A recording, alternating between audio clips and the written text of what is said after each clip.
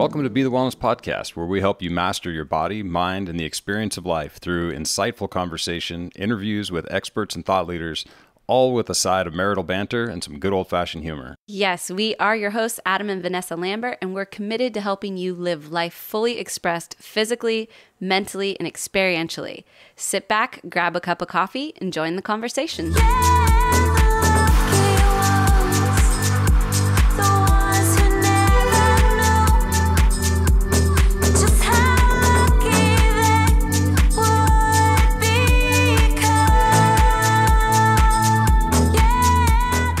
everybody, Bee the Wellness Podcast. Adam and Vanessa Lambert podcasting from San Francisco Yes. about San Diego. about San Diego. Well, more specifically about someone in San Diego. True. But we'll get to that soon. And um but it's been really fun being in San Francisco for a couple of days. We scored a little pocket of magic here, which is the weather. And for folks who have ever traveled to San Francisco, you know that it has a tendency to be foggy. Right. Um, it can be pretty cold, especially during the winter.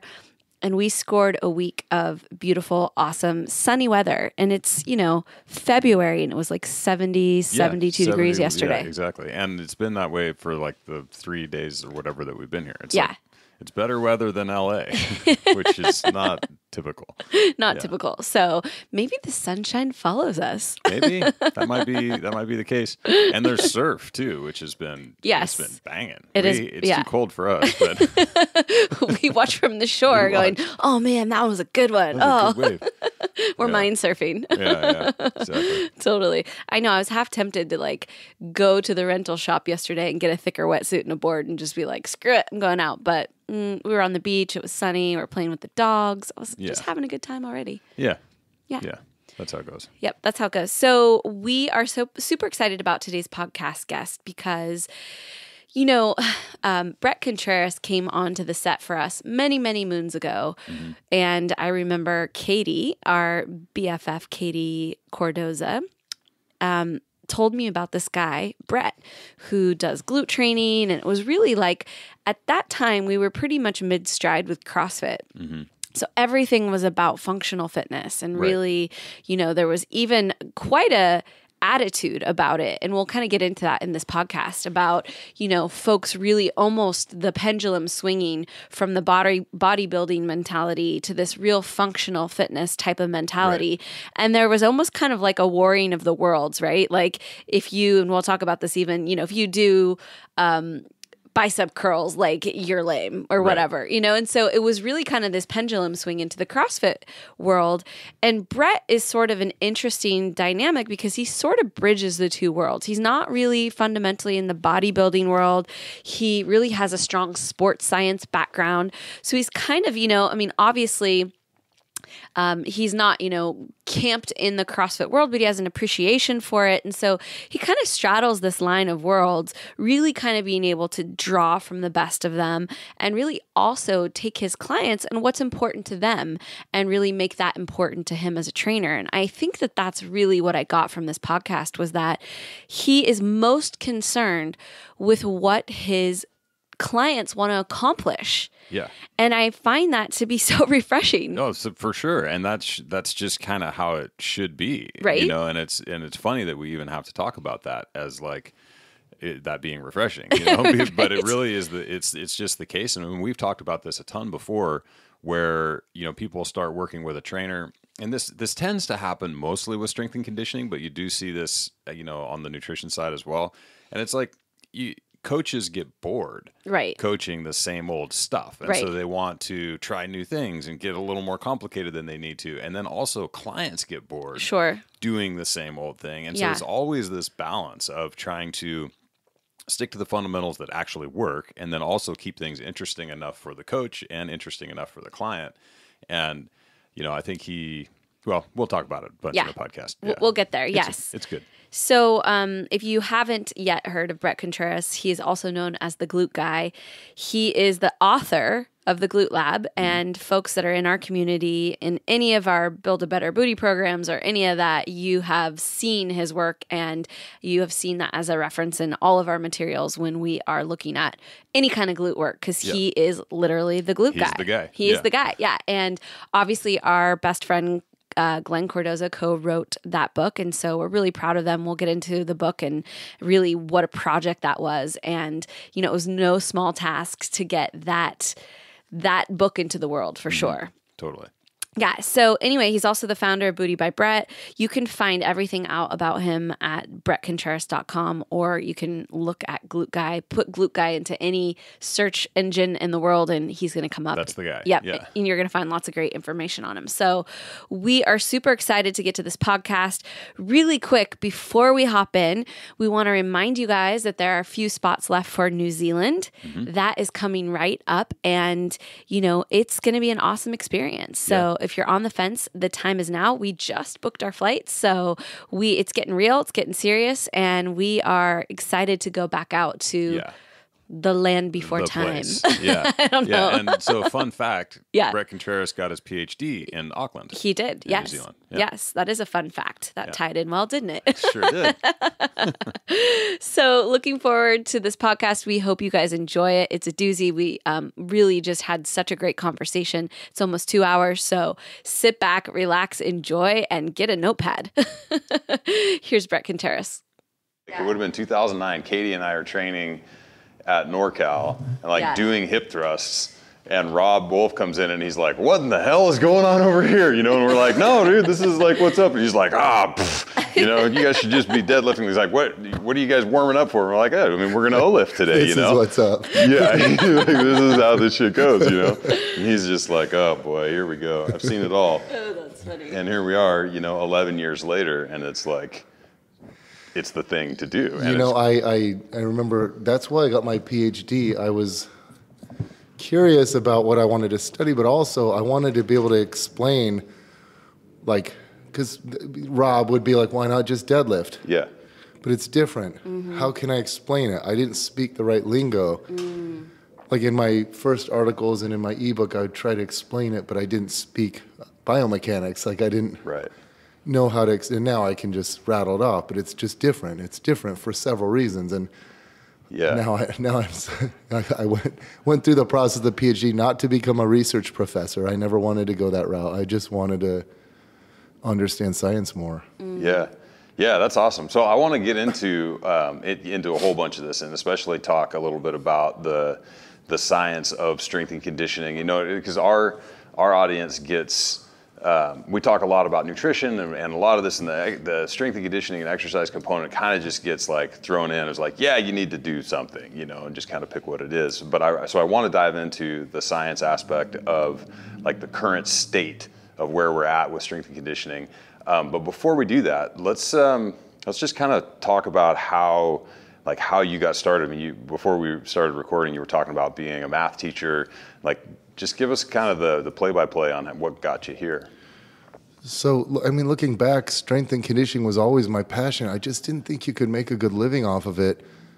But boy, have things changed Yeah. because back then, you know, as a, I mean, I, I look at my twin brother. He, his form is so bad, but he's great at teaching. Like he's a good trainer, Right. and he's never made a dime off of his training. He's just like me. He always, we were always very social. We had all these friends, and it was like, "Hey, dude, come to the gym with me." We like talking, so Yeah. the gym is a perfect time to have a, you know, workout buddy where you talk talk about all things in your life. And so, and and my brother was always good at like he'd take the the broken people who just got dumped or something, and mm. I'm gonna build you back up and empower you and. And uh, and so y- y- some people make for better teachers, mm-hmm. you know. Mm-hmm. And I was always good at, like my friends. I remember I was at a party in, in college, and someone goes, "Raise your hand if Contreras taught you how to lift weights," and all the hands went up. You know, it's I, I taught them all how to lift. I taught my whole family how to lift. Yeah. This was well before I made money off of it. I I was, had I always had a work. I remember when I was like 21, I thought and I was thinking, I'm like, I've had like 32 different workout partners Yeah. at the age of 21. Wow. But I would take someone on for a few months, teach them everything I knew, and I wasn't particularly strong. I was just really good at you know, I, I, I geeked out on the program design element. And back then, there there wasn't the internet, so Right. all we had was the muscle mags Right. and there was there was I mean I'd go every every single month I would go to the gro- gro- grocery store or the library Yeah. and I'd read muscular development flex um, muscle and fitness um, Ironman you know men's health Right. Those were the main ones muscular development was my favorite Yeah. but uh, it was all bodybuilding. You know, you didn't learn. There was a powerlifting magazine too that was discontinued, but I'd read that too. But it didn't make so much sense to me because I didn't train at a powerlifting gym or with powerlifters. Those were scarce back then. yeah. Now, now you know, in this day and age, things are blended more. We incorporate elements of everything, but uh, that's all I knew was how the bodybuilders train, and I'd buy the DVDs and stuff. So I accumulated a lot of knowledge, and then my fr- I remember one friend goes, "How do you always know exactly what weight to put it on? Like if I'm doing leg extensions or seated rows or Yeah. whatever it is, even bench press or leg press, you know exactly what to put on to give me the perfect workout." And I think that's a that's a component of being a good trainer. You just can like look at someone and be like. I think I'm going to put it. he- I think I'm going to give them this, and then you just know. I've always had this sixth sense. There's an intuitiveness about it. Yeah. And so then, uh, you know, in college, I just loved learning. I love knowledge. In fact, that's what kind of sucks now about I've realized it has benefited me very much with being the world's glute expert. I carved out this niche, and now there's dozens of glute experts like me. Right. And Right, I right. was the OG, you know? Yeah, yeah, totally. I was the original glute guy, and now there's a lot of glute experts, and I mean, most of them. You look at their system; it's just like mine, Right. and it's because it works. Right. They're not doing like just do squats. Right, you know, right. like what the powerlifters are saying. They're doing kind of what, what I recommend. Uh, everyone's a little bit different. Yeah. But they're my my competition are seeing like I look at the before and after pictures, and I'm like. Oh wow! I gotta, I gotta make sure I stay on top of my game because that's Sure. what the people want Yeah. Right. and you know you tag that person so they- they're not you know you can't just make it up this person Yeah. followed my program because they Right. will reply in the comments and things like that They're like, Sure. no, I didn't. Yeah. I Yeah. who are you yeah. exactly. So it's just it's like a different world like because i a lot of my friends are researchers Right. and i'm so thankful and lucky to have them as colleagues. Mm. And i get to talk to them on the phone. I get to collaborate with them. But their world is academia publishing papers and mm-hmm. things like that. And i just look at it like some of the research coming out lately doesn't jibe well with what people are doing. In the field. Like, so if some of these volume papers come out and mm. are saying it's best to do five sets a week per muscle group, and I'm going, my girls are doing 40 sets. Right. All the best butts in the world are doing 40 sets a week. Right. So I, I'm not going to go, oh, guys, the research says this. We're switching to five sets a week. Yeah. And you know the research Yeah. is saying this, so we're, we're just doing squats. No, that doesn't work. I know that. Like Yeah. I know that, Yeah, and I, I don't. a- yeah, I'm, a and it sucks because my, my my colleagues are like, well, oh, so you think you're above the research? Yes, I'm like light years ahead of the research. Like we need to study all this stuff we're doing, but Yeah. that's not to say I can't learn from the research and I'm not open minded because I always adapt and evolve, and I do pay attention to the research. It's just what I've realized now Yeah. is some of the research is f- highly flawed, and so that that could be a whole other podcast. I don't Right. want to get into that. Right. Like a recent study came out, that'll be a whole separate podcast that would Yeah. take an hour to get into, so Right, we won't even go there. But, um, but uh, it, it, back to what you were asking, how I got started out yeah.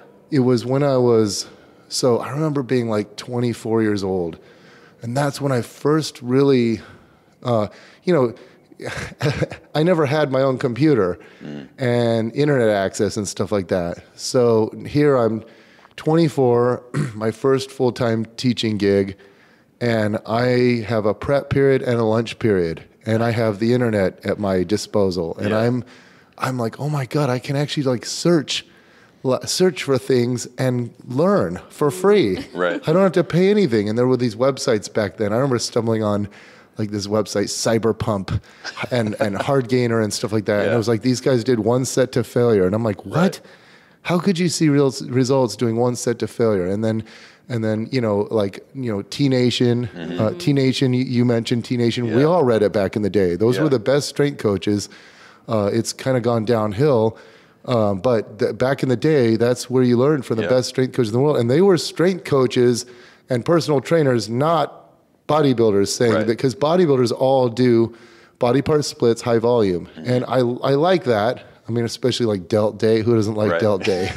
Where you just do like four Yeah. or five delt exercises and have this huge delt pump and Yeah. look Oh, I love amazing. it. Yeah, In fact, yeah. sometimes I Yeah, go. Vanessa's favorite. That's my favorite. Sometimes I look in the mirror and I go, I would actually pay one million dollars to just look like this permanently. Right. Yeah. The way I do after a delt pump. And I go, why can't I just Yeah. get my shoulders so big that they always look the way they are when they're pumped? Mm-hmm. Yeah. Like I like can't I do that? But no, I can't. you have to keep Doesn't going seem to be back, possible. yeah. that, that's the way they, they all trained. And now Right. I'm learning from people who train athletes, from people who train, you know, have personal training businesses, and they're not doing body part splits because they get someone three days a week and they're giving them three Yeah. full body workouts mm-hmm. Right. and they're doing themselves lower upper splits. And I, I didn't know anything about all this stuff. So I was like a kid in a candy shop when I was a teacher. I remember I would, I loved it. I would lock my door, you know, so I couldn't be bothered, get on the internet and, and, and sounds n- naughty, right? No, I would read about, I would read about strength Yeah. and conditioning. Yeah, yeah. Just nerd I out. yeah, I couldn't get enough of it. Then I remember like girls that I dated back then, and they'd be like, "What are you always reading?" Like at nighttime, I studied. Right. And it's funny, me and my twin are similar. Like my twin brother is in a different field, but we just, I mean, he he's like a like a designer and uh, like an architect type person, and he he's self taught, and I'm self taught. Uh-huh. Everything I learned was through the internet, and it's such a cool thing. Like you don't have to pay money; you can mm-hmm. Yeah. become an expert on something for free if you're willing to put in the hours. And so, mm-hmm. uh, so I, I, fast forward a few years later, I get my master's degree in curriculum and instruction, and this professor. And by the way, I can't find her. I can't find this. but I want to reach out and find her and say, "You changed my life. You changed my whole life." And there's like no record of her. I need to go next time I'm in Phoenix. And Right. it was at SCC, That's crazy. Scottsdale Community College. I was taking a course, and uh, no, sorry, it was through. A- It was for ASU. It was at SCC.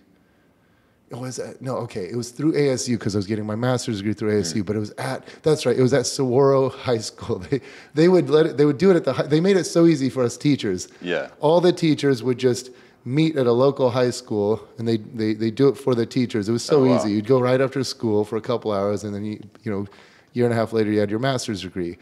And the teacher, what, I- learned was the teachers made the worst students ever. like they'd be late. and Everything was, well, my students. It's like, Right, then right. don't go to, then don't get your master's degree. and I have to grade papers, and I'm doing this, and they were always complaining about things. And I'm like, God, teachers make the worst students. It's weird. I remember standing up in the middle of a test and going, turn your cell phones off. We'd never allow this with our own students. Yeah. And the professor like goes, I'm turning my cell phone off. um, but uh, she basically said we had to do a thematic unit, and she said you could do it on whatever you want. And I thought, okay, since I'm a math teacher, I'll have to do it on math. I raised my hand. Can I do it on exercise science? She goes, you could do it on ice cream if you wanted. Yeah.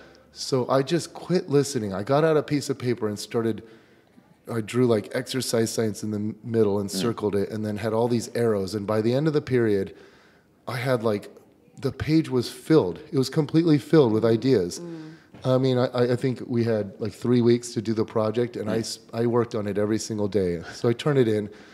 She calls me up on the phone. She says, Bret, like, what the hell? She goes, I've been a professor for 13 years, and no one has ever turned in a project like yours. Like, you went so far above and beyond.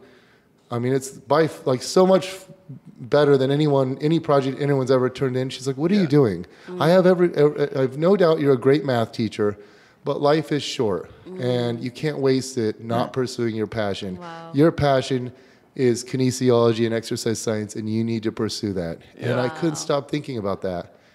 Also, I was a when I was a t- I had this teacher friend, and we were so close. We were like inseparable. And she she comes in after school one day. She's like, "Will you go to this wedding with me? I have this guy that I like, and I want to make him jealous." and she's like, "Oh yeah, just don't talk much. Have like a Russian accent." I'm like, "What's wrong with what's wrong with the way I talk?" but she's like, she's like, "Yeah, this is gonna be perfect. He's gonna be so jealous." and I'm like, Your first escort job. yeah, no. I'm like, don't worry, I'll make you look good. Yeah. She's like, you know what? You're come to think of it, you're like perfect. You're tall, you're handsome, you're funny, you're smart, you're witty, you're athletic. Your only flaw is that you don't make any money. Because you're a teacher. Dagger. Yeah, I know. You're like, ooh. So what do you think I stewed on for the next hour? yeah. when she left, and I'm like, you know what, I, I, I, I, I like, I was still training people on the side back then, and I hear what Yeah. women say. I hear what people say, and I could just picture like one of my clients being like, hey, I went on this date. This guy's so nice. Oh, he's such a sweetheart, or he's so this, or he's so that. Oh, you know, the only his only flaw is that he's a teacher, and he only, he only makes. Yeah. 35 grand a year or something. I, I make way more than him. And you can say, well, then that girl's shallow. Yeah. But, Yeah, but it's just- it yeah. still is Real, a tough yeah. life. Totally, making, totally, yeah. making. Th- I mean, I was. Uh, my start off at twenty nine thousand a year, and I was making thirty six thousand a year. I think when I left, and so Mm-hmm. I was like, and I remember looking at the teachers the salary schedule back then, and the most you could make in Scottsdale School District back then was fifty nine thousand dollars with a PhD and thirty years That is experience. so crazy. You wouldn't even come close to making six figures. yeah. Yeah, yeah. Yeah. And I was like, okay, I can always teach. Right. Yeah. But I feel like I'm talented. I remember I used to pace back and forth in my classroom. I'd be like, I know I have talent. Like I, I'm unique. I have ideas. I have, like I created a block course back then of, you know, it was like exercise science and weights. Mm. And we'd do lecture and then we'd go lift weights. And I blended the Yeah. two together.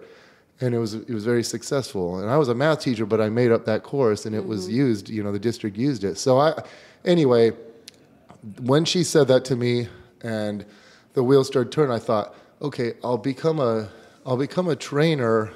I'll open up a little studio, and I bet you all my male students will want to train with me, like all the football players and stuff. And I bet you I'll carve out a little niche for me for making these like stud football players, and, Yeah. and then the baseball and basketball players will want to come, but that'll probably be my main niche. I had saved up like, you know, I, I had saved up uh, like twenty grand, and I sp- I think I spent like fifteen thousand on my first order from. Okay, so I bought a house. All right, I thought I needed to put like twenty percent down or something, mm-hmm. and I didn't realize my brother's a realtor back then, and he's like, "No, you don't need any money down. you can get Yeah. hundred percent financing." Yeah. Like it's here in California, I've bought two houses and you need 20% down. But in Phoenix at the time, you didn't need any money. So I had just saved up 20 some grand on a teacher's salary. And I find amazing, out, I find out that I didn't need it. Right. So I was like, oh, wow. Okay. So I can use it for whatever I want. So I, I've never ever used my garage for actual, as an actual garage. So Yeah. since I've had a a house, my, you know, I think my first house was like 20, I was 28 years old and I that the gar- first but like that's when like Fight Club was popular and stuff Yeah. so I I wanted to like have a little Fight Club garage gym in there so I made it was a giant wrestling mat that filled the whole I cut it to fit Yeah. the whole garage and we had all the heavy bags and mitts and all the gear to do you know to, to do striking and grappling and everything and I love it. we would have little fight I had like five friends and we do like fight training every week like twice a twice a week and we, we were doing jujitsu back then I did Yeah. jujitsu for like two years Yeah. uh, nothing like I never got amazing at it, but just enough to like defend submissions and Yeah. stuff.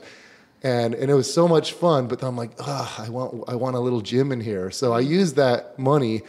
I ordered it from Elite FTS because I remember I ordered all this. It took like nine months to get delivered. Oh, back wow. then, not like this day It's and age. probably out of like a catalog too. yeah.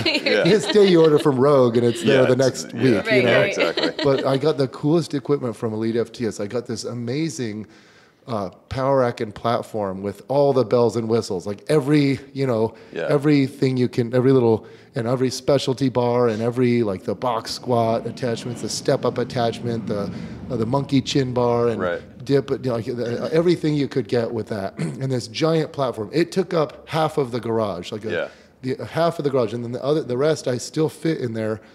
I fit a competition bench press, a 45 degree hyper with a sumo base, a glute ham developer. Um, I had a, a prowler, and I had my Skorcher, which I had invented. That's when I thought of the hip thrust right at that s- same time. Yeah. And uh, so I had a lot of, uh, I, I packed a lot of stuff in there. And when I started, tra- anyway, when I started actually training people, again, I thought it was going to be all students. And I started training people out of my garage, and I thought, okay, don't be stupid and just start right off with a gym. Yeah. Get people coming to your garage. You know, yeah. I know you're not supposed to run a business out of your garage, but Whatever. Yeah. who But yeah. Wait for you- somebody to yeah, complain. Make it till you make it. so, so, um, and uh, you know, I'm like, okay, it's gonna be mostly like friends and family and stuff like that. Well, it was always the women that ca- um, in my family and, and Right. my female friends would be like, oh, I want to train with you, and I'm like, they're like, how much is it? And I'm like, uh, 200 a month if you come twice a week, 300 a month if you come three times a week. It was like nothing. Yeah, I yeah, charged yeah. like nothing. But all I did was I said, look, what's the rent going to be of a studio? I want three grand. Once I can afford the rent, mm-hmm. I'll open up a studio. So Yeah. I need 10 people paying me 300 a month or Yeah. 15 paying me 200. Any, any combination of Right. that. Well, I got, you know, I had like 10 clients paying me 300 a month.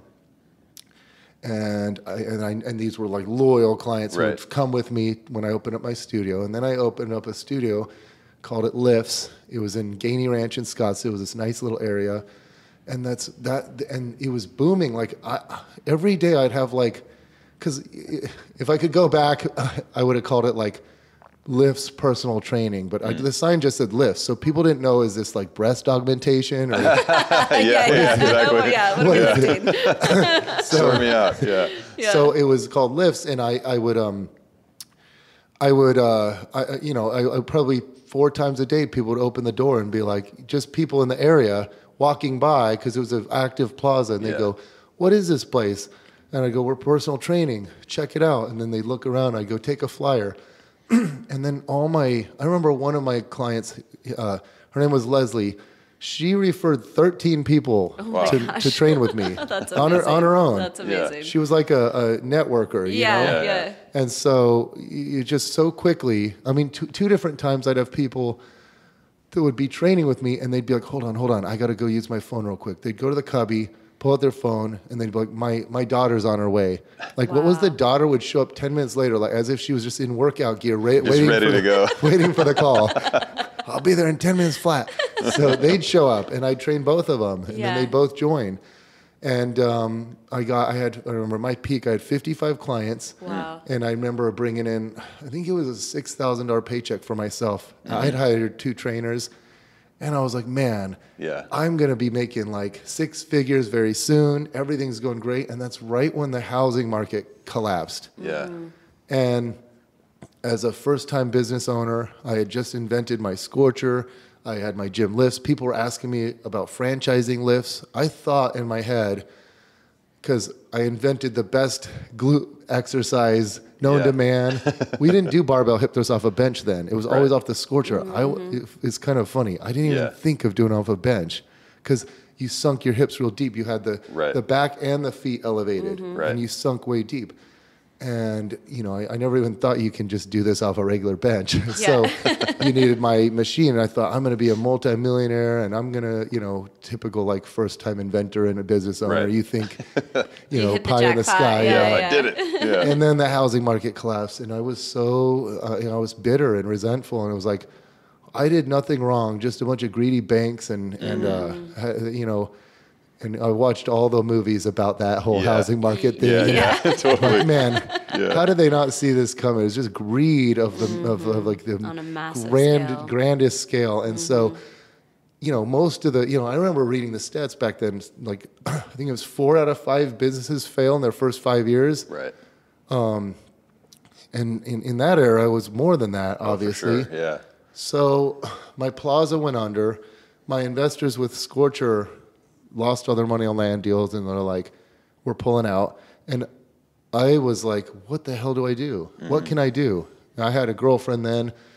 She, I was, I had paid for her for a few years, and she's like, "Bret, it's my turn to help you, mm. and you know, get get back on your feet. Wow. Why don't you, you know, what do you want to do?" I go, "Well, back then, all my clients were saying." Bret, like, why aren't you on? Like, there's some guy named Chris something or other. He was like on News Channel Three. Mm. Each every news station had their fitness expert. why aren't you one of the fitness experts? I'm like, I don't even know how you go about doing that. Like, what do you do? I do call the news station. Hey, I know a lot about I know some I know stuff. stuff. so much smarter than your, Yeah, yeah, your yeah. current guy. Yeah. He probably doesn't even have a Skorcher. Yeah. He doesn't even lift. He doesn't even know what a Skorcher is. so, so like I don't even know how to you know that's a foreign world to me and I'm like Yeah. how do these guys have time to like blog and do social media because back then I, I- being a, a trainer full time is exhausting Yeah. you know I, I would train seven straight hours and that Mm, yeah. and that killed me and Yeah. I know people that train 10 or 12 hours Yeah. how do you do that day And it's not just physical; it's emotional because you're so Mental like involved shot. with your now, clients. now yeah. I'm 43 years old. I train people like, you know, for three hours and I'm mm-hmm. wiped out. Totally. Even after this podcast, I'll be wiped out and I'll want a nap. Yeah, Because totally. I'm all animated. I'm like, I like, give ah! yeah. it. So Because you give it all. Well, that's what I realized. Yeah. To do things well, Yeah. you're you you're exhausted afterwards. And what I realized is back then there were like two clients a day that got screwed. I'd be like yaw- yawning and like low energy, and yeah. that's nice. yeah, Your 6 p.m. You're like, was you're, like, uh, you're good. 6 p.m. was You're screwed. good. Yeah. so like you're like, let's stretch. Should probably foam roll for the next Yeah. hour. Yeah. you're like you know you're just counting reps and but anyway so so uh I- you know people would tell me like Bret we've trained with everyone in Arizona and you're the best. And you know you're you, why aren't you out there? Why aren't you more mm-hmm. popular? And back then my clients were so they were they just were the biggest raving fans of mine. Mm-hmm. They would do anything for me because I was unheard of Yeah. you know? Yeah. and they they knew I was like destined for something bigger and greater. And so then I thought well what a perfect time. I got nothing else to do.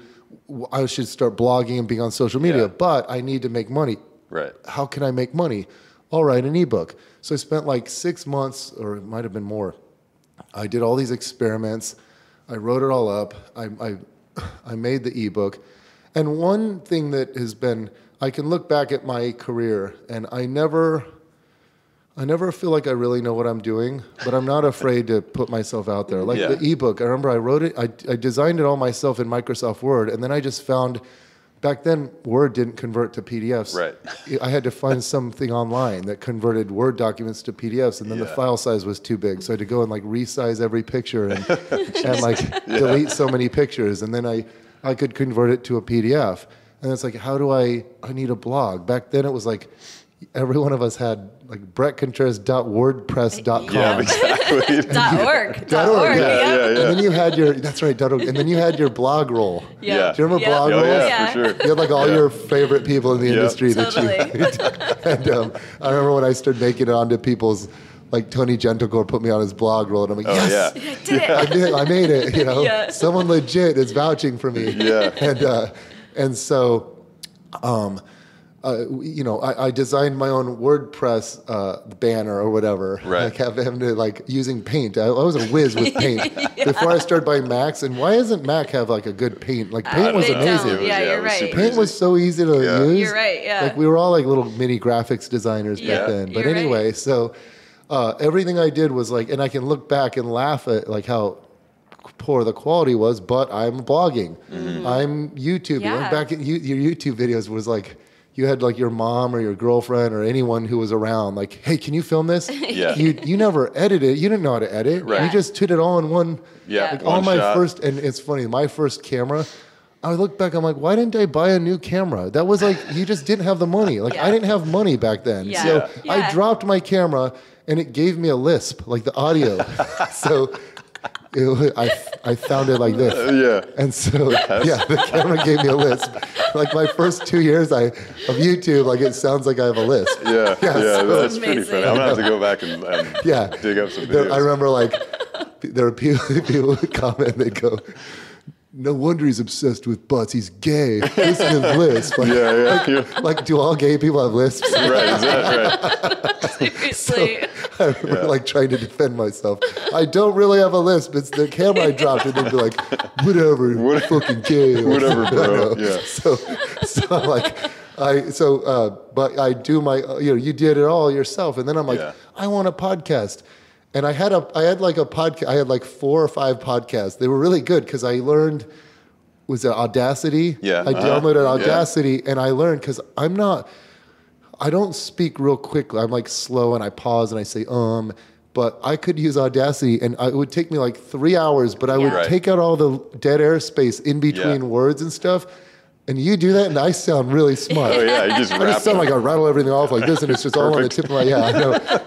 So, and so my podcasts were really good, and then I I, I got bored of it. I mean, there's a lot of work involved. That's Oh, why yeah. I love Gosh, so doing this with you guys. You do all the work. Yeah, Yeah, totally. you I, pop on. Yeah, I'll put it out to my followers. Yep. They learn Yeah. something. It helps you. It helps me. Totally. And I don't have to. I spend. You don't the, have to I spend the hour. Yeah. Yeah. yeah, I don't have to audacity it or Yeah. upload it or do all these things. So, Yeah. But uh, so that, and then I remember I wanted to do a, a research review. I wanted to do, uh, and me and my buddy Chris Beardsley were like, well, Yeah. let's just make something. We had the crappiest logo. It was the ugliest. There were no graphics. It was just, but people liked it.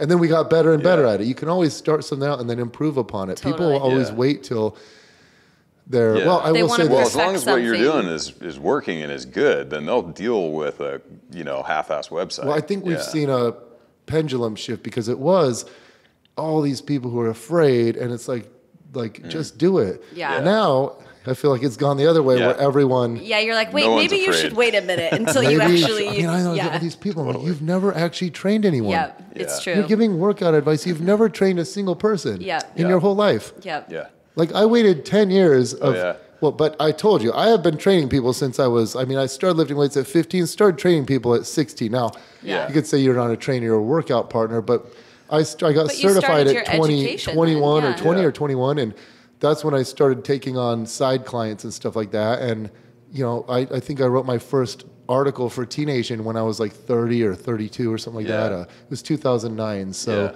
Yeah. 11. Yeah, I was 32. Yeah. I had had owned a gym. I had invented things. I had like done a trained lot. Probably Yeah. you know, maybe you know at least hundreds of people, probably 500 people back then. You know now Yeah. I've worked with so many more, but Right. I had gained a lot of expertise as a lifter. I mean, the other thing too, you got to try out all these different programs. You got to try Totally. you know, Westside. Try a Yeah. powerlifting program. Try, you know, something like Smolov or Sheiko or the Russian squat program. Try out uh, uh, body part splits, different body Mm-hmm. part splits. Try one set to failure. Remember I told you about Yeah. the one set Yeah. to Yeah. failure? I Oh, yeah. tried that and my, my body blew up from it. Oh yeah. I think I was overdoing it for so Right. many years. Right.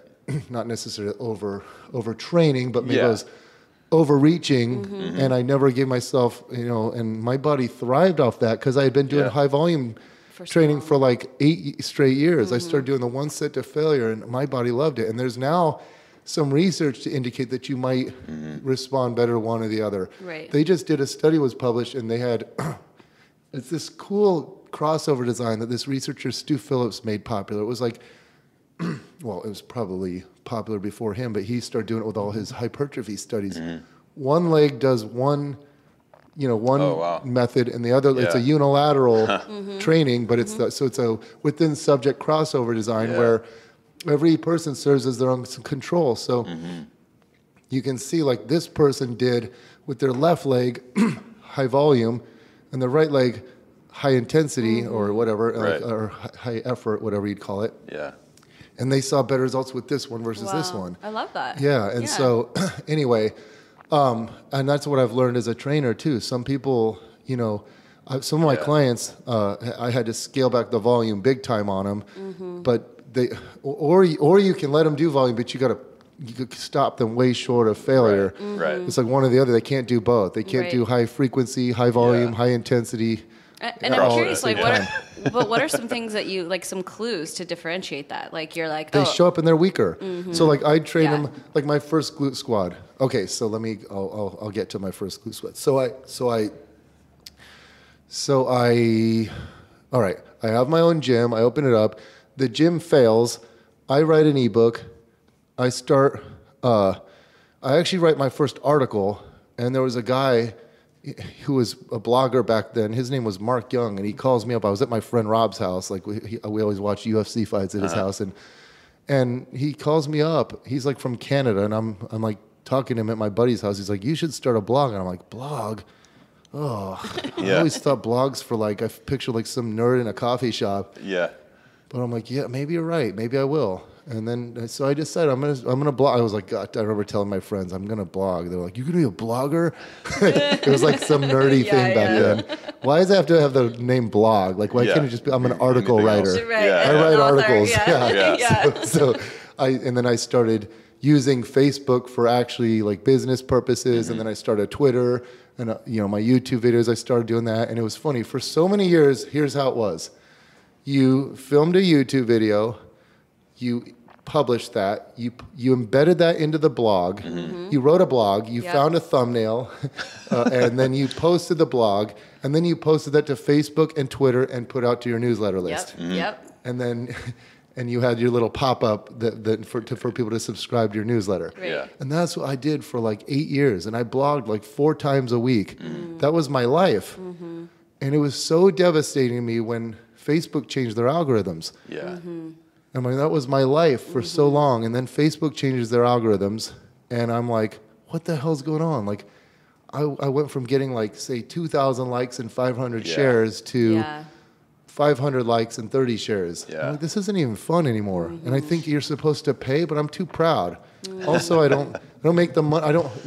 It's funny because if I knew advertising and marketing, I feel like I could have figured that out. But I was like prided myself. I'm a scientist, not a marketer guy. Right, right. But I was so pissed because I'm like, I had power as a scientific writer. Mm-hmm. If someone like l- leave algorithms out of it and I go viral, my Right. Right. stuff. T- I've, I have enough experience in this industry where when I feel passionate about something, usually other people do too, and Yeah. it goes viral. And now you've yeah. just made algorithms to prevent it. Which To I remember squash it, watching the movie, like what is it, Social Network or Oh, whatever. yeah. Yeah. Uh huh.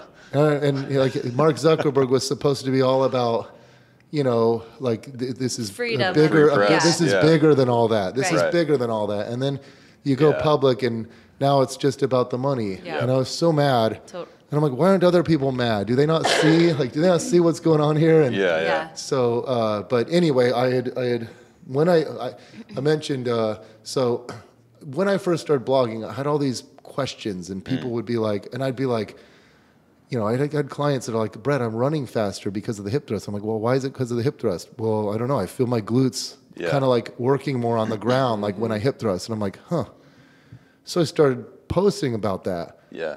But in all fairness, like, you know, you always evolve as a scientist and as a human and you learn. And so I just thought this is obvious.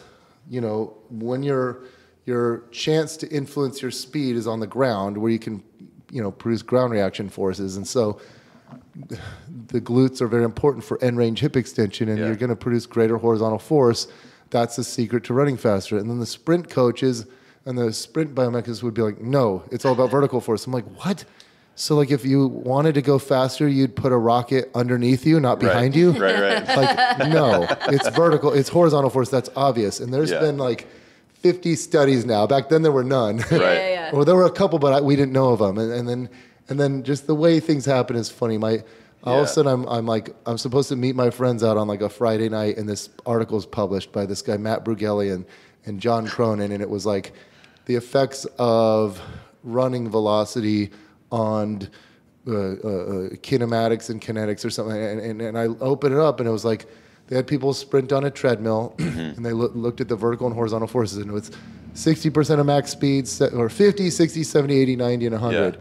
And vertical force topped out at 50, 60%, but mm. horizontal kept going up linearly. Therefore, horizontal force is the secret to running faster. Now, it's more complicated that, than that because now there's been a lot more studies. But when that was published, I was so happy Yeah. because I'm like, all these sprint guys were, you know, ripping on me. There were like blogs that were like, glute guy needs to meet gravity guy and stuff like that. And I was like, yes, finally. And I remember I emailed them. And I think I was really unprofessional. I, was, I think I was like, fuck yeah. Like, I've been waiting for this shit for ages. Yeah, yeah. I've been battling this sprint guys. It's obvious. Thanks, guys. And, and, Right. and I started emailing both authors separately. Matt Brughelli was the younger author, and then uh, he and I became good friends because he he got a job at AUT while I was getting my PhD there, and then John Cronin, he became my supervisor. But it mm. was weird because I was talking to Matt on the side, and Matt's like, I was like, I really want my PhD, but here's the problem. Here in the states, I have my master's degree in curriculum instruction and education. I don't have a master's. I can't get a PhD until I get a mm-hmm. master's, and I can't get a master's because I don't have the prerequisites. Yeah. I'd have to take like a year and a half of mm. Undergraduate courses that I feel like are beneath me Right, right. yeah, to yeah. get into a master's program, to get into a PhD program. He's like, why don't you ask John? It's a little bit different in New Zealand. Like, Hmm. so I was like, I go back to John and I'm like, hey, Matt said, you know, uh, and Yeah. he's like, let's have a natter on Skype. I'm like, what the hell's a natter? So a conversation, I guess. Like, Yeah, yeah. so this is the funniest story. I go to Skype with John Cronin, who ends up being my PhD supervisor, and we, we go to Skype, and he's like, "Hey, Bret, I can't find you. Are you Devil Angel six six six? I'm like, no. I'm like, no. What? I'm Bret Dot Contreras. He's like, that's not coming up. The only Bret Contreras I see is Devil Angel six six six. Like, what would that make me satanic? I'm like, Yeah, yeah. oh my god, I'm not going to get my PhD because there's some Bret Contreras out there some other the Bret devil. Contreras Yeah. that's satanic. So I like Skype. We, I think it was like 30 minutes before we were supposed to Skype, but I want to show him that I have this. This is my account was Yeah. like Bret Dot Yeah. Contreras on Skype. So I call him up. Not a devil worshiper. Not a devil. So I call him up and we hit it off. He's such a easygoing guy, and I end up moving to New Zealand. I lived with him in his basement for mm. like three or four months or something. He had to like, he had to get his. His, uh, his administrative assistant to be like Bret, we're moving out today. That's we're finding a place for you to live because I would have stayed in his basement forever Where, where in New Zealand? in Auckland. Oh, yeah, nice. nice. Nice. and Awesome. uh, and it. and it's funny because John and I had such a good relationship. Like he'd always make fun of me. Like we we were, we'd bicker. Like like uh, he, he he I was the only. So they flat. You know, a lot of the world they flat. Mm-hmm. Like in the in the U.S. we don't even know what flatting means. Yeah. Like you you basically rent a room out of someone's Right. home Mm-hmm. or like the basement out of someone's home and you live with them. We live with like a, a, a like a married family. couple or something, Yeah. a family or Uh-huh. something. Yeah. And so uh, I'm like, John, I'm not living, I'm not flatting with people. I'm like, I think I was like 30, what was I, like 36 at the time? Yeah. I'm like, I'm 36, I'm a grown ass man. I'm not going to flat with people. I, I live alone. And he's like, well, it's so expensive. I'm like, then I'll, I'll Yeah. make more money. He's like, how? I'm like, because I wasn't making much money back then. I never cared about the money back then. Yeah. Um, I just blogged all the time and I made money off the ebook and you Mm-hmm. know I just didn't really care. So I'm like, I'll figure it out. I'll make more money. And then I remember I I hated being cold or hot. I have like the narrowest like Oh, you live in the right place then. I know. Yeah. That's why we're in San Diego right now. Yeah. I have the and I talked to you about maybe moving to Hawaii Yeah. one day. So It's- I have the narrowest. narrowest gets a range. little hot there, but I think Yeah. you'll be okay. Yeah. but like I hate being cold. I hate Yeah. winters. And I sit there and I go, why do like so many people live in these freezing cold environments? And I some people ask love it. myself that all the time. I hate it. I hate wearing Yes. layers. Yeah. Yeah. Like even at my home. So it I makes me sad. yeah. So I, I remember in John's basement two different nights.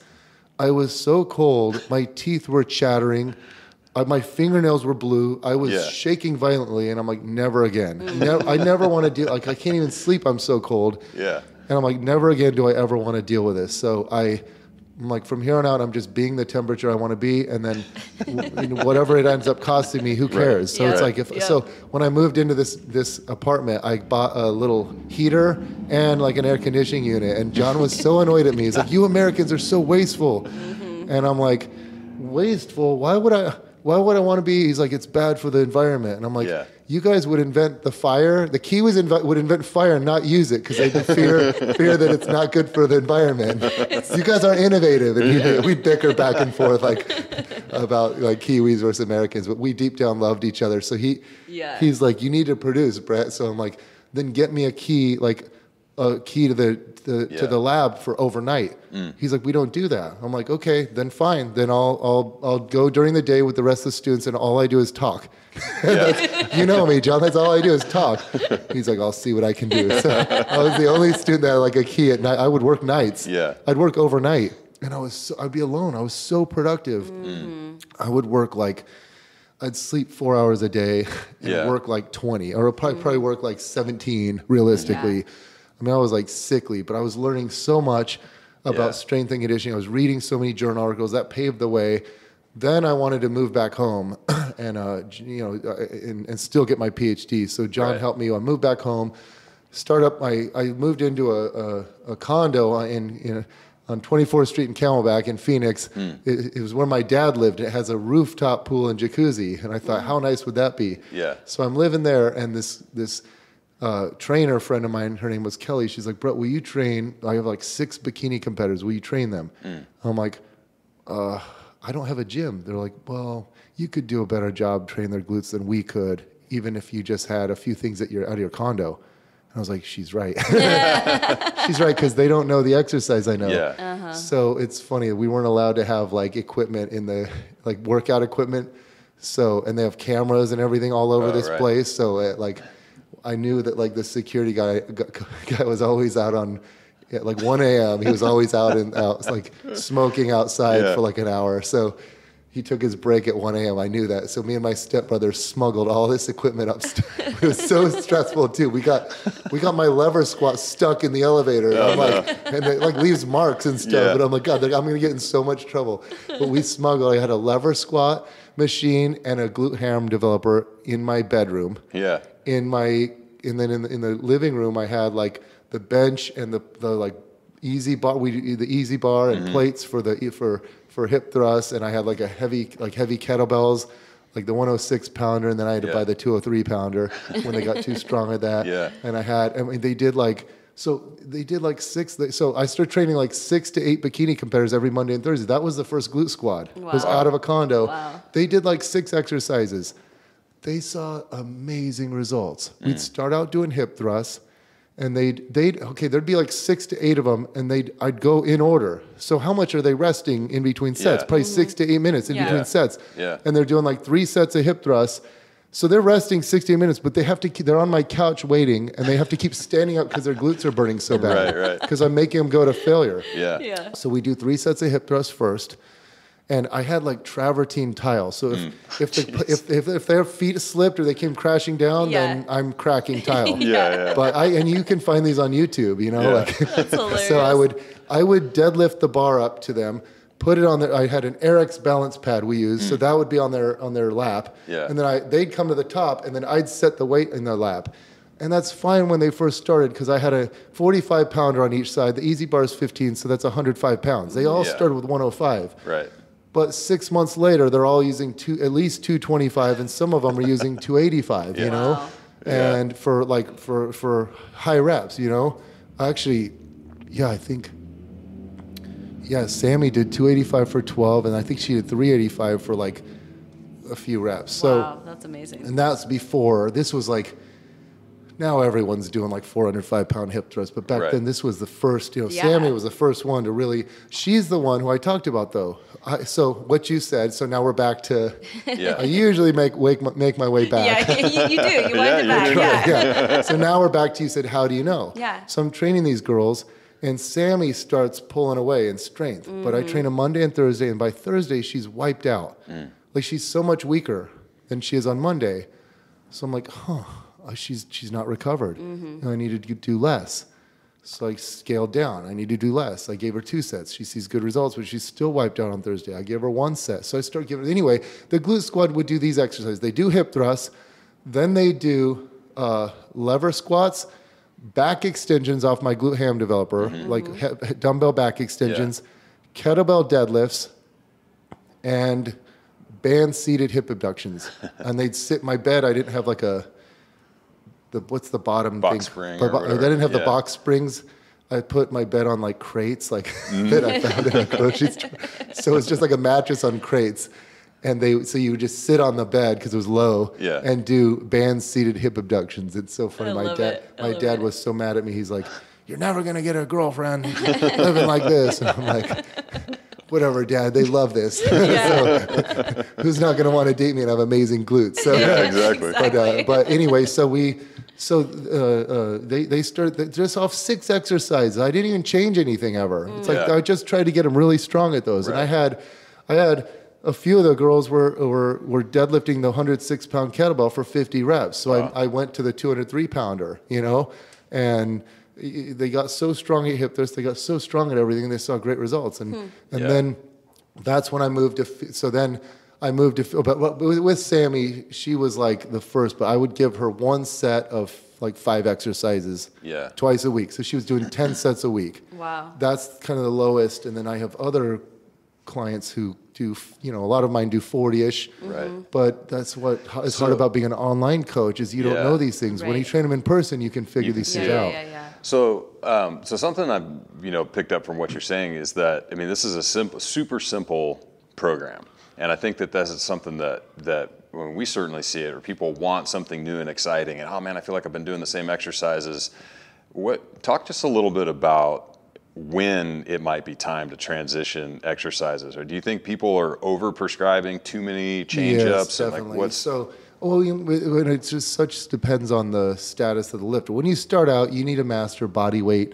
Mm-hmm. I like to teach body weight box squats, so you go to consistent depth, and you know you, you do the glute bridge first, and once you're good at that, you move to the hip thrust, and eventually you're doing goblet squats, and then you move to the barbell, and you know you might start out doing rack pulls or RDLs, and then progress to you know Mm-hmm. kettlebell deadlifts, and then regular deadlifts, and but basically you always need uh, but it's so because on the one hand it's so simple but on the other hand it's Yeah. so complex like Yeah. think about everything you've learned because Yeah. every hu- every human body is different mm-hmm. and it's like you could look at cars and be like or like bicycles and be like this is going to be better suited like this this like mountain bike will be better suited for this this Right. dirt bike will be better suited for this this cruiser will be better like you could kind of theorize but you people Right. aren't good at looking at a human body and being like this person, you know, like when you have the person with super long legs and a short mm-hmm. torso, mm-hmm. you know, they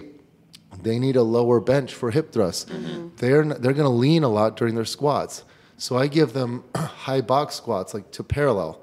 So they're just going to parallel, but they sit way back. And if they can handle low bar, I like low bar. Yeah. Uh, it's but you, you always you have these things like this works like seventy percent of the time, but thirty percent of the time it doesn't work, and you go to this Right. Yeah. okay, that didn't work. Let me try. Let me see if goblet squats with the heels elevated work well for you. Let me try mm-hmm. this. But you're gonna find that you can do a squat pattern. Mm-hmm. You can do. A, there's gonna be a few types of hip thrusts and bridges that you like. There's gonna be mm-hmm. some hip hinging patterns that you like.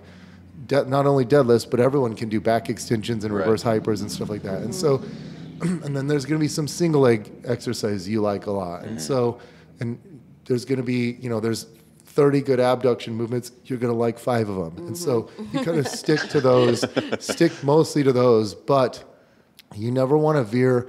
And this is something that's kind of interesting because I have my online Booty by Bret program. So I have this task of needing to deliver results, but mm-hmm. also not boring them. yeah. Totally. And what I've found is that they're getting stronger and stronger. It worked well to have tons of variations. Like one month we're doing, you know, eccentric, accentuated pause reps where you lower under a count of four seconds, pause for three, and then come up for one or mm-hmm. something. Or like we're doing, you know, he- he- here's a constant tension for sets of 20 or something. Or like mm-hmm. knee banded, Right. you know, pause reps or something. And then that's that works out well with full body training. Mm-hmm. So if, if you do full body training three days a week, then one day you're doing heavy this. And uh, what I like is like during my well-rounded months, it's like this fits. This works out perfectly. You squat hard on Monday, you hip thrust hard on Wednesday, you deadlift hard on Friday, and then you do other stuff Right. that complements those. So mm-hmm. on like the deadlift day, you can do a single leg movement because that mm-hmm. builds the squat. You know, maybe during the squat day, you do a stiff leg, light, light stiff legs, Right. because that builds the deadlift without beating you up too much or something. You can do throw in Nordics for your hammies. You can throw in different bridges or reverse hypers or kickbacks or abduction or whatever, you know. But you just have to keep it in check and not do too much so they can be recovered. Because three full body workouts a week is not easy Yeah, Yeah. totally. um, to do it justice. Right. And then with upper body, I'll throw in an upper body press, an upper body pull, and then um, I give them 10 minutes at the end to throw in stuff they like. Because everyone has Yeah, different right. muscles That they're they- stoked on. Yeah. that- yeah, like, I, you know, I want to do more delts, or I want Right. to train arms, or I want to train this. All right. So the, what I'm realizing, the stronger you get, because I focus on two lifts, one one lower body and one upper body Mm-hmm. ev- every four weeks. Mm. Now, the stronger you get, because the reason, and I I thought of this because of the research. I was like, wow, the research is showing it's really easy to maintain strength. Mm-hmm. You just do. And I remember with my my before it was booty by Bret, it was strong by Bret. I just did one set, one set of it was mostly single like single leg and dumbbells, but at the end of each at the end of the program, I'd have them do. Basically, they did one hard set of squats a week, one hard set of bench press, and one one hard set of deadlifts, and one hard set of hip thrusts. One set each, but they were doing single leg hip thrusts. Mm-hmm. They were doing deficit reverse lunges. They were doing single leg RDLs. They were doing dumbbell bench press. The ne- after those four weeks, I had them test their strength, and they hadn't lost any strength. So as long as you're doing similar movement patterns, Right. and then you hit the one really hard set, and Yeah. this was a hard set at the afterwards, at the end when they were fatigued, Right. and they didn't lose strength. Now, would the same be true for like the most advanced powerlifters in the world, where it's like, Right. no, maybe not. But what I'm realizing is that you, whatever lifts that you care about, we're all different. Mm-hmm. You know, maybe maybe you like the trap bar deadlift. Mm-hmm. I like the sumo deadlift, and you like the RDL. Yeah. Okay, maybe I like maybe I just love barbell hip thrusts. Right. And you happen to like band hip thrusts, Uh-huh. and you like landmine single leg hip thrusts, Mm-hmm. and maybe for the squat pattern, you know, I just like low bar back squats, and you like front squats, Yeah. and you like goblet squats for higher reps or something, you know. eh, But everyone's different. But say you write down six, like my favorite six lifts are back squats, hip thrusts, deadlifts, bench press, military press, chin ups. I don't have a row in there. Doesn't mean I don't like rowing. It's that rowing aren't. Uh, I feel like you you're always going to do rows, Right. but you don't. They're not. They don't make for good like strength Primary lifts. Like lifts, one one yeah. rep mat. Like you get you start going too heavy and you don't feel it as much and stuff like that. so weird, yeah. yeah, and you- but like you don't have to obsess about your. I'd rather focus on the chin up or the pull down. Mm-hmm. I really like pull downs too, and I think they, especially the heavier you get, you Yeah. tend to like pull downs a lot. but uh, anyway, I feel like you can do pull downs. Like I like Yeah. Mm-hmm. underhand grip pull downs, and it's like a chin up. Right. And I and I find that if I'm hitting, if I'm doing deadlifts, if I'm doing supinated pull downs, hitting them hard. I can always do 10 chin ups, and I weigh 245 pounds. Yeah. I could do 10 chin ups without ever doing chin ups. Right. But um, anyway, people do tend to change it up too often. So progressive Uh-huh. overload is so, it's like the most critical topic in strength and conditioning, Yeah. but the hardest to talk about because to a beginner, they're like, I mean, you'll get emails or DMs like, so do I just add 10 pounds a week? Mm-hmm. Okay, that's 520 pounds a year. Yeah. Yeah. Yeah. Go Oh, for should I it. just do what? yes, you should, and you should let me I know how hope that you goes. can. Yeah. Should you, uh, uh, should I just do one more rep a week? Well, that's Right. 52 more reps in a year. Mm-hmm. Yeah. Think about your chin ups. What could you do last year compared to now? Are you Mm-hmm. Right. one rep above with chin ups? How, how depressing is it to be like, Yeah. if you can get one more rep on chin ups per year, you know, Totally. like I can Yeah. do 12 right now in 10 years. Can I, can I do 22? Yeah. I, I- it's chin ups. It's like, look, just pick a, a month here and there to specialize on them and crush them. And then also try and lose weight. Cause like, Mm-hmm. Right. Yeah, Makes that's it it's way disproportional. Yeah. Like if I'll lose 10 pounds and my chin ups go through the roof. Yeah, Oh, totally. Same sure. with Nordics. Yeah. I can lower myself all the way to the ground with when I'm lighter with Nordics, but Yeah. Yeah. body weight exercises favor the lighter person. But anyway, people tend to vary things too much and not stick to the staples. Mm-hmm. Um, you know, I remember looking at like Ronnie Coleman's training back in the day. Yeah. You know, I had his before he has his DVD, I had a tape. I have a VHS tape of his first his Yeah. first you know video, Yeah. and he he had his staples, and he stuck to them week in week out. Now I'm sure he'd travel and go to their gyms and try different things, but Right. you have your core lifts that work well for you, and you don't need to stray too much. But I like to say same but different. We're all, my my program is built around these movement patterns, and it's Yeah. Single and double leg versions of squats, deadlifts, hip thrusts, you know, some Mm-hmm. abduction movements like reverse hypers and back, like hip hinging, and then upper body presses and pulls, like compound. And then you'd Yeah. sprinkle in some lateral raises and stuff that you like, like It's interesting. face pulls and stuff. But Mm-hmm.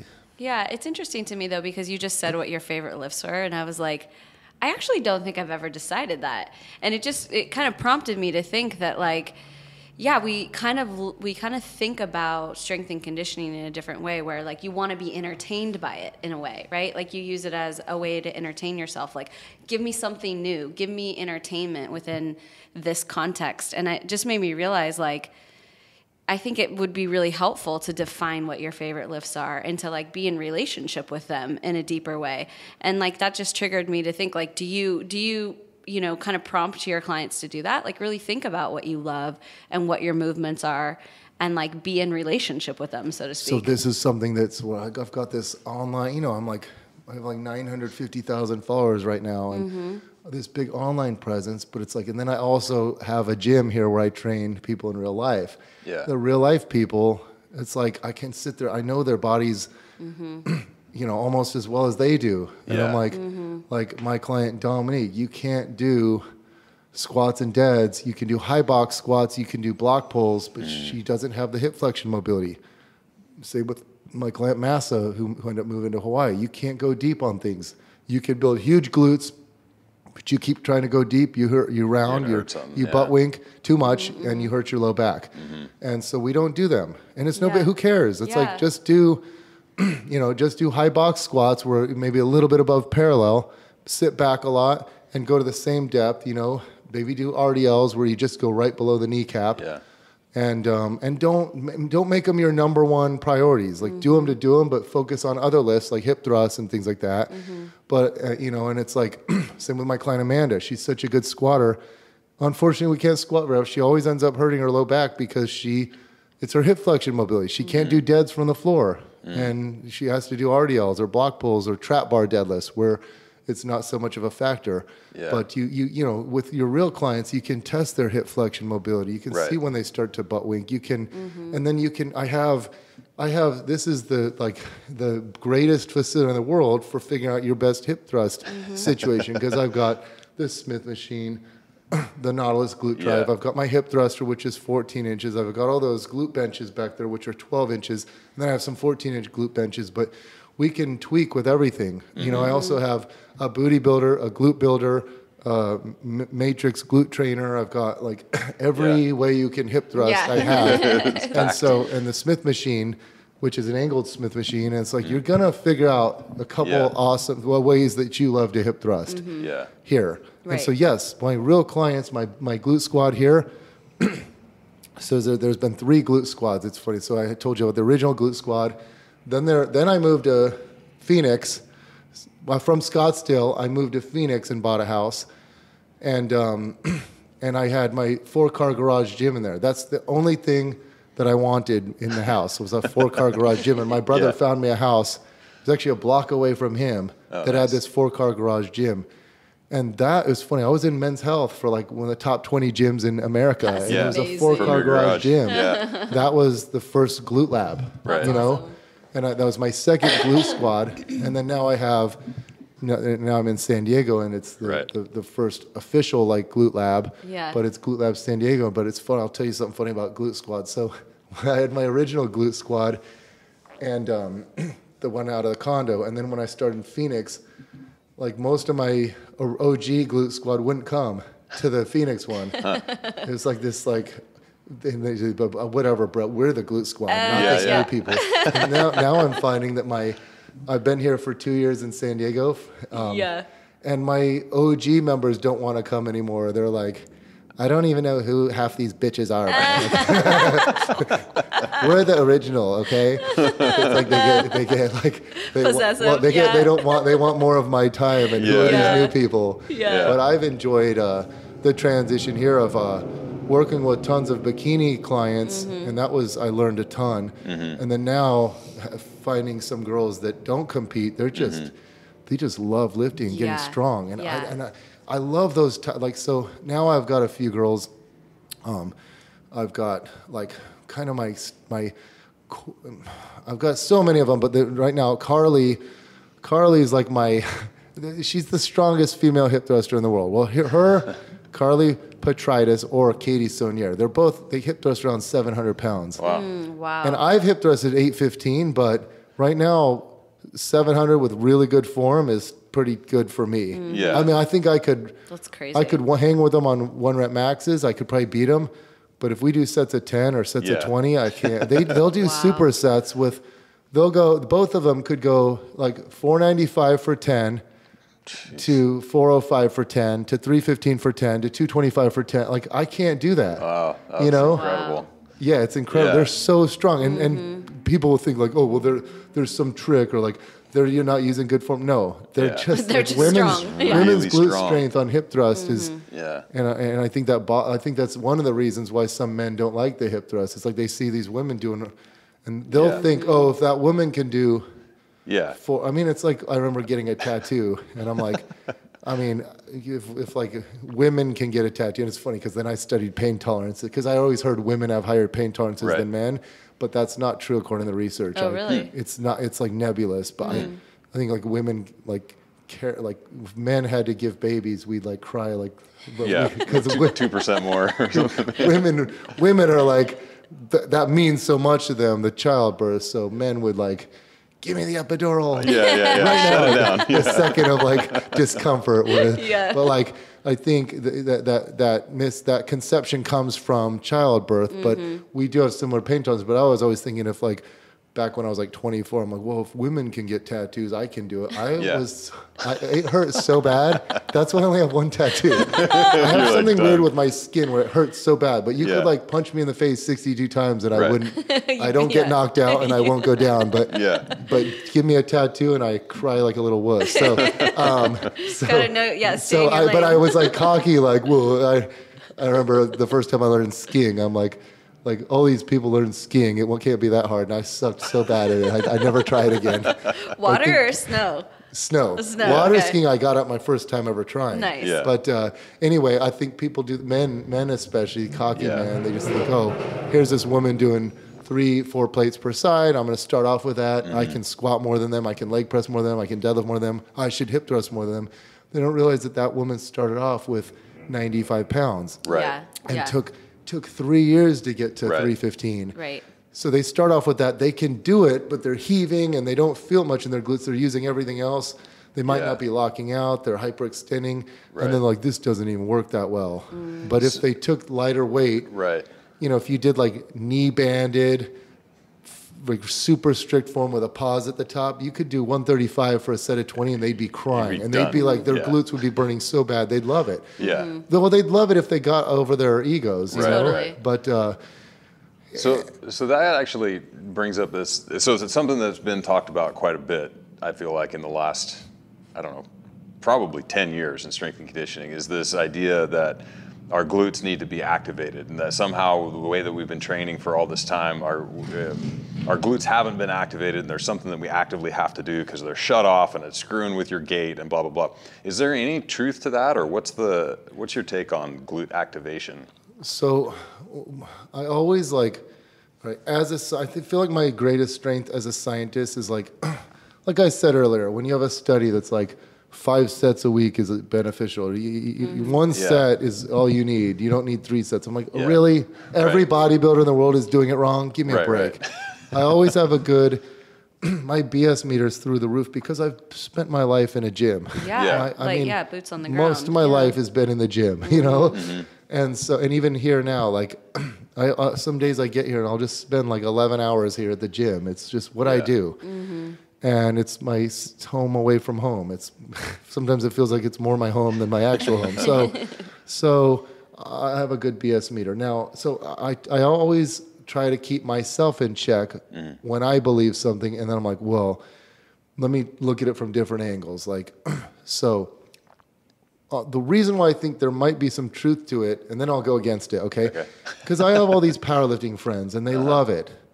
They'll warm up, but these guys are like, you know, these are uh, like when I trained in Tempe, Arizona, at this powerlifting gym called Revolution Training Systems. These guys are like pushing the limits. Like, you know, half of them at age 40 have like knee replacements, hip replacements. Like they, they just get too strong down. for their bodies. Yeah. They're too strong for their joints, and they they disintegrate. Like they they're so freaking strong. And these Yeah. guys, these are guys pulling. They weigh 200 pounds, pulling 750. Jesus. You know. Yeah. It's like some of them. If like if they weren't injured, they could pull four times body weight. Like they're insane. And and Mm-hmm. If they weren't injured, yeah. if that's the Yeah. limiting Yeah. factor is Right. how can I get my muscles could get stronger, but my Mm-hmm. my bones and my not well my my my tendons, my ligaments, my the the joint capsules they they can't, take it. tolerate it. Yeah, Yeah. yeah. And so they'll spend 45 minutes warming up. Hmm. You know, they had a buffer in there. Like a, this was Oh, like yeah. eight, The car six years ago, like a car buffer that they Oh, like yeah. buff out their muscles. yeah, Like yeah. they, this was before the vibration guns and stuff came Right. out. Yeah. Yeah. And uh, and they would do all their little glute activation stuff, and a lot of them were like, Bret, you know, if I do like a couple sets of band uh, hip thrust, high rep band hip thrust before I squat, my hips Mm-hmm. feel better. I don't get that hip pain. Or like they'll do their lateral band walks and their glute activation series, and it just helps them feel better. In those cases, what am I going to say to them? Right. Actually, you're fine. That's not true. That's not. You don't know what you're talking about. yeah, yeah, yeah, totally. yeah. You deadlift 750, but don't know what you're talking Right, about. right. right. So, uh, so in that sense, I think. It, it- but here's the deal. Um, there is some evidence to show that, like in in low level activity, like everyday life, the glutes don't get activated that much when you climb stairs, when you stand up from a chair. Um, and there's, without boring anyone, it might be that the glutes need a little bit heavier or, or like a more explosive activity to really engage.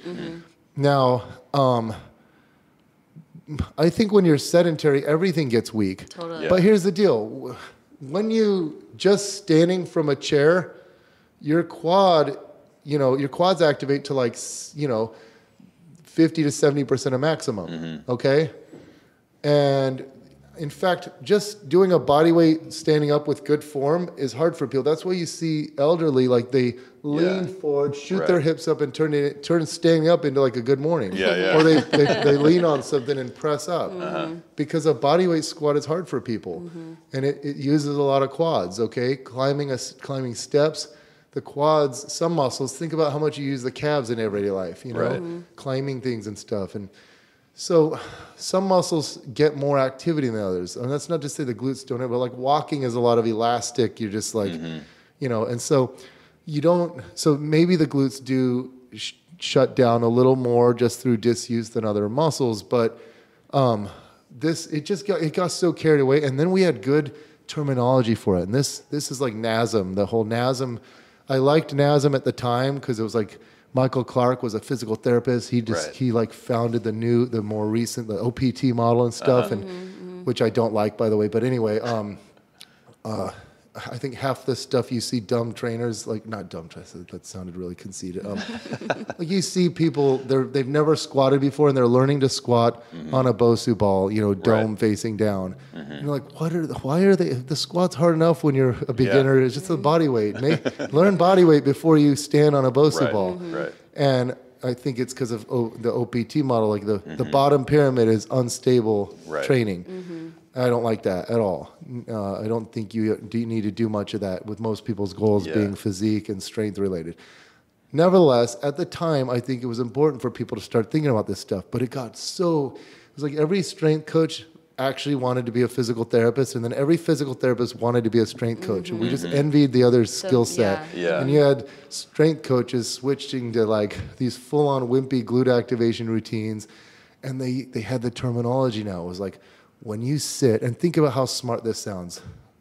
Like, listen, when you sit, you are, your, your, your hip flexors are bent. You know, your, sorry, your hips are bent, your hip flexors are shortened. You're going to cause adaptive shortening Yeah. of the muscles. now that your hip flexors are shortened, they uh-huh. adaptively shortened, you are going to, you know, through a process called reciprocal inhibition, you're shutting down the antagonistic muscles. Right. Now your glutes won't even activate, okay? Now that your glutes don't activate, you're going to rely on the other hip extensors, the hamstrings and the adductors, and you're going to get synergistic dominance of those muscles.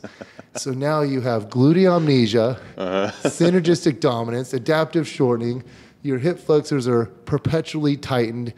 Your gait is messed up. You're just screwed for life. You know, mm-hmm. and it's not mm. be so dramatic here. Right. There's a study that shows that people. I, I think this is such a funny study because it was like um, 56 days of bed rest. Okay, bed rest. Yeah. They didn't do their own hygiene or anything. They never moved out of bed except to do a set of squats three times a week. One set of squats three times a week off of a like a lying horizontal like leg press machine, right? Yeah. But they utilized progressive overload. Some muscles shrank, like the hamstrings, but the glutes grew. And I did it was like 0.07 percent of the time their of the the glutes were activated, hmm. meaning Right. 99.93 percent of the time their glutes weren't activated. Hmm. You don't need to be using them all day long for them to grow and function properly.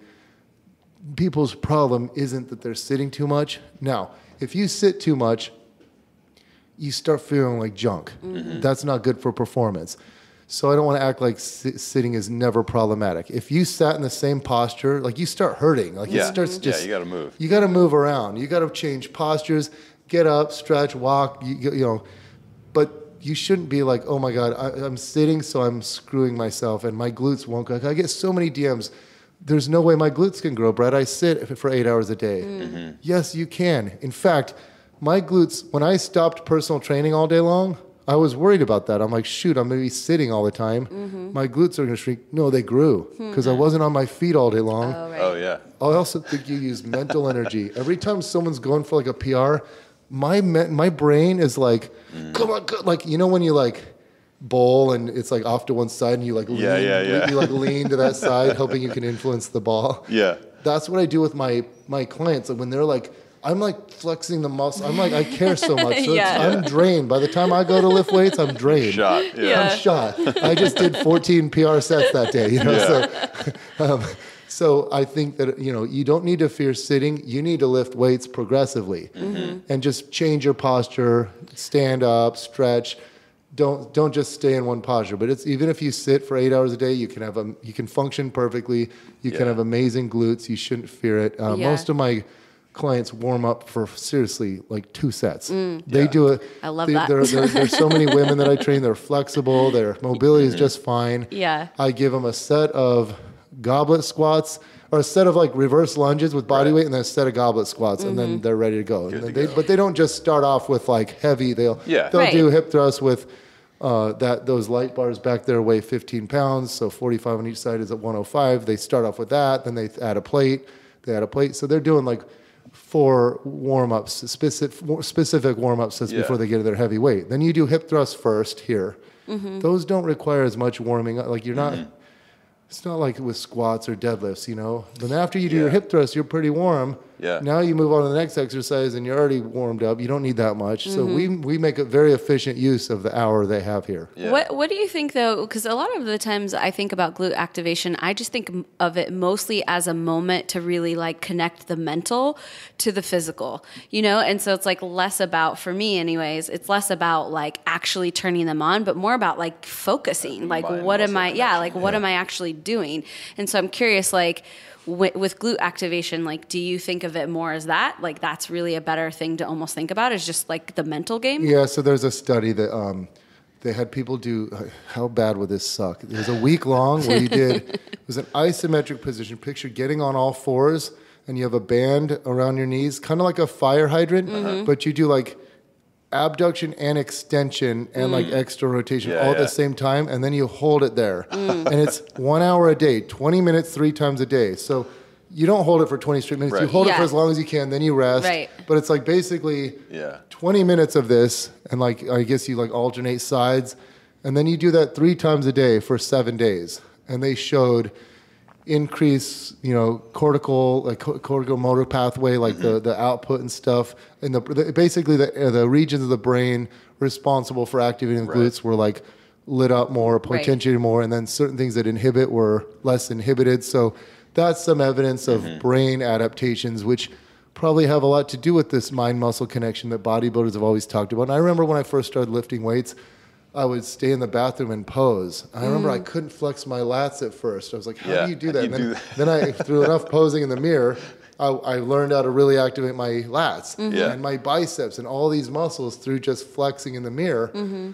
I did that when I was 15, mm-hmm. and you know, and I think I developed that mind, but I don't think I ever squeezed my glutes back then. Right, right. No one- Yeah. You didn't care about those. You just cared about your pecs and Right. biceps and lats and delts. Yeah, but, totally. but then now I I feel like I can feel my glutes with every movement. Right. And a lot of people are like, I don't feel my glutes with this. I could be like hanging from a cliff on one arm and like with like, you know, pterodactyls flying around me trying to and I and then they're like, squeeze your right glute cheek and I could be like, done. you know, right. I could be in playing twister in any position and they could be Yeah. like, I want you to activate your Yeah. left glute to 70% of MVIC and I could just nail it perfectly. so uh, I think that's a goal is to mm-hmm. have glute activation, good glute control with every exercise. Mm-hmm. But then also it makes people self-conscious. It mm-hmm. delivers nocebo effects. Mm. Like at some point, if your glute, if you don't feel your glutes that much, who cares? Mm. You do, uh, think about the rest of your body. Are you ever like, I just did a set of military press, and I don't, I don't think my delts fatigued that much. Like I felt that more in my, like I don't know what fatigues first with military press. Yeah. Mm-hmm. I know if I get stronger at military, my delts will grow though. Mm-hmm. Right. But I don't ever be like my delts are burning. I don't ever rack the bar with military press and be like my delts are on fire. Mm-hmm. mm-hmm. Never. You know, maybe if I did a triple drop set. Right, You know, right. Yeah. but. Uh, um, yeah. it's like you have different movements for different purposes. And hence, Right. we go back to full body training three days a week. I love having a heavier hip thrust day. Mm-hmm. And on that day, just use good form and try to set a PR or something, you know? Right. And and then if you feel your glutes, cool. If you don't, it's okay. You got Mm-hmm. more opportunities to feel your. You don't have to feel your glutes on every set of every Right. exercise every day of the week. It's like, you know, later in that workout, you could do if you like frog pumps, do that. If you like knee banded body weight glute bridges, do that. If you have do something at the end of the workout where you do feel your glutes. Right. You know, the next session you could do knee banded pause rep. You know, hip thrust. Everyone Right. feels those Yeah, yeah. Um, and you know like but but one day a week try to get stronger because i mm-hmm. just sit there and look at this okay i weigh 245 right now i'm not the leanest i have to be around 225 to be lean mm-hmm. okay to actually have like decent abs okay mm-hmm. and when i get down to 225 i'm like 15% body fat and i look very athletic right now i don't know i'm probably like 18% or something like that or 6 i don't know whatever but it depends on what i use to measure it but i Right. don't have like if i took my shirt off right now i don't have nice abs.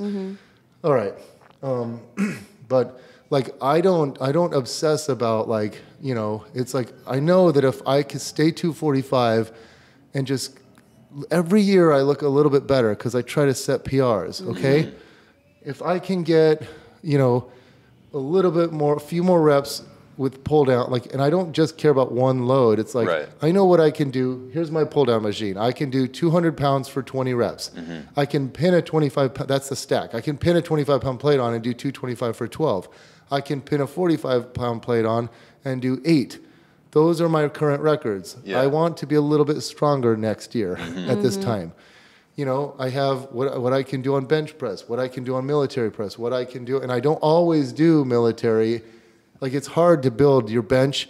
Military is kind of like wh- where do you throw that in? so Right, it's like sometimes I focus on the military, sometimes I focus on bench. I'm not always squatting and deadlifting, but Yeah. uh, uh, you know when I know what I can squat and deadlift, I'm close to being back to like uh, most I've ever pulled is 620 that's tough because it's like I, I want to get 635 because that's uh, six plates and a 25 Yeah. per side. But every time I start getting close to there, I snap something up. So, Right, right. but I still want to hit that. But anyway, it's like, but I know what I can hip thrust at night now. I have what I can hip thrust with the barbell, mm-hmm. what I can hip thrust on the Smith machine with different loads, what I can hip thrust on the Nautilus glute drive, and if I can bump them all up. So here's my thoughts on progressive overload. And it kind of has a funny sexual twist to it. Okay, so I have my six favorite lifts. I already told you. Okay, Right. But think of your six favorite lifts that you haven't really given much thought to. Mm-hmm. All right, they're all balls that you're juggling. Okay, so I've got six balls that represent my back squat, my conventional deadlift, my hip thrust, my bench press, my military press, and my chin up. Okay? And I'm juggling them. And it's hard to juggle six balls at a time. But every time I get stronger, that ball gets a little bit bigger. Mm. Mm. So now I've got balls of different size and they're growing. And all of a sudden it gets to where it's so hard to juggle all six balls, mm. they're gonna fall. You know, you mm-hmm. just or you're just that's all you can do. You're Right. topped out. You can't mm-hmm. grow these balls anymore. Okay. so it's better yet to just put four of them on this table right here, mm. and this is maintenance mode. Mm-hmm. I'm gonna put four balls on the table, and I'm just gonna focus on two of them. When you're just juggling two balls, it's easy to grow them.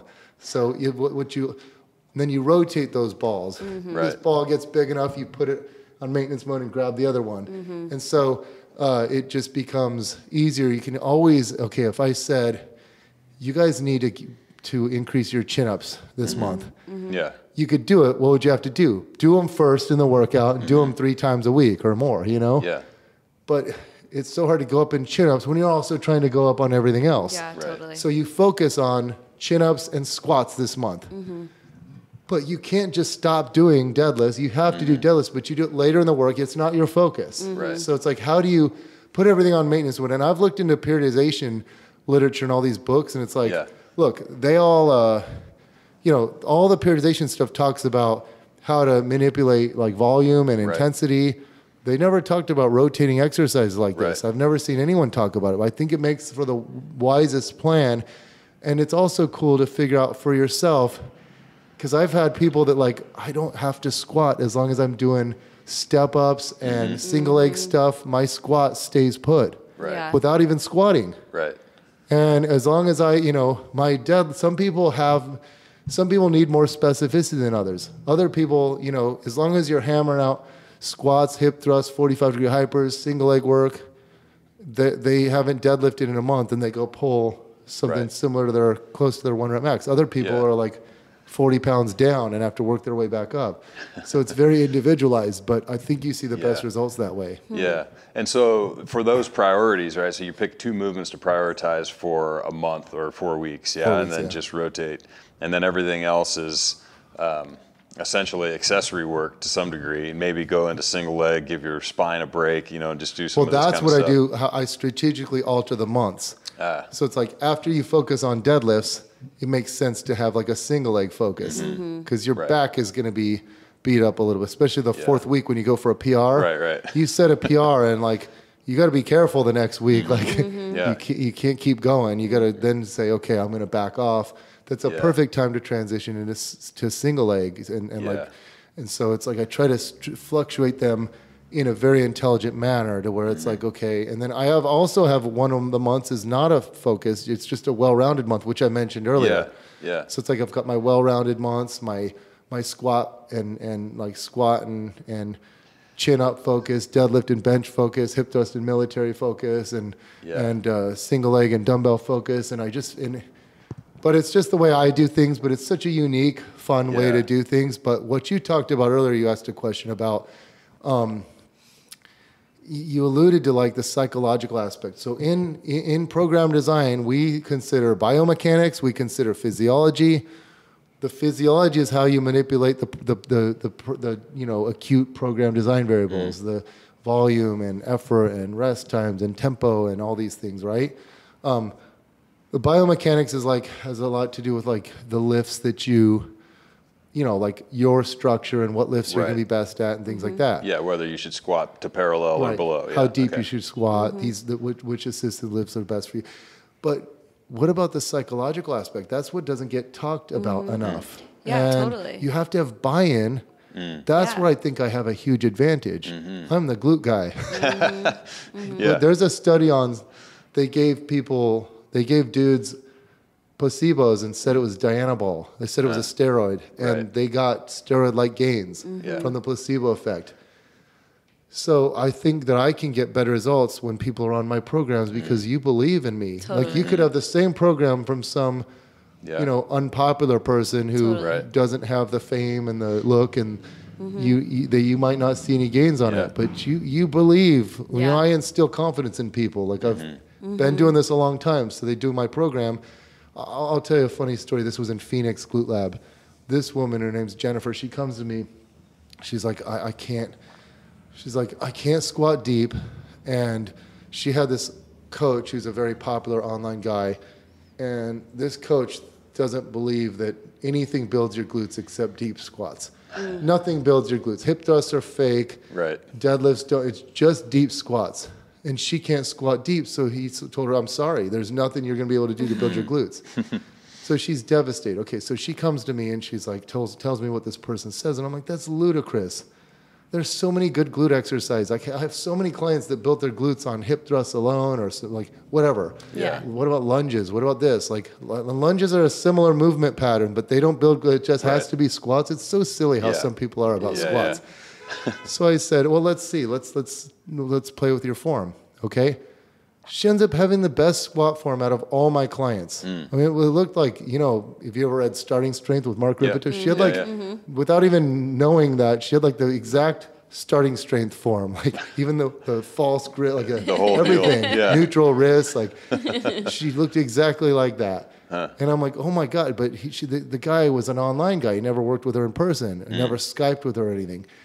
So she's already beaming because she's like, oh my God, I just needed some instruction. And then she says, you know, Bret, I haven't been able to do deadlifts or stiff legs in 10 years. I was a cheerleader. I did one of those jumps where you spread your legs and Yeah. I landed and I, I, um, I strained my hamstring. And I haven't been able to for 10 years. And I'm like, man, it should heal back by now, right? Yeah. Yeah. yeah. so I said, okay, well, I made up an exercise, okay? I thought, I like Nordic ham curls, but Nordics, you don't go into a full stretch Right. unless you're flexed. So I'm mm-hmm. like, how can I? I'm like, okay, I want you to bend over this glute ham developer, the rounded pad. Mm-hmm. Fold your body over it so you're in hip flexion. Then I'm going to take your leg, you get it in full knee flexion, and I'm going to push against you. You're going to resist me eccentrically. Mm. And I'm just, so it's an eccentric from a shortened Yeah. position all the way to a full stretch. And I, I was like in a good position where I could provide just the right amount of tension.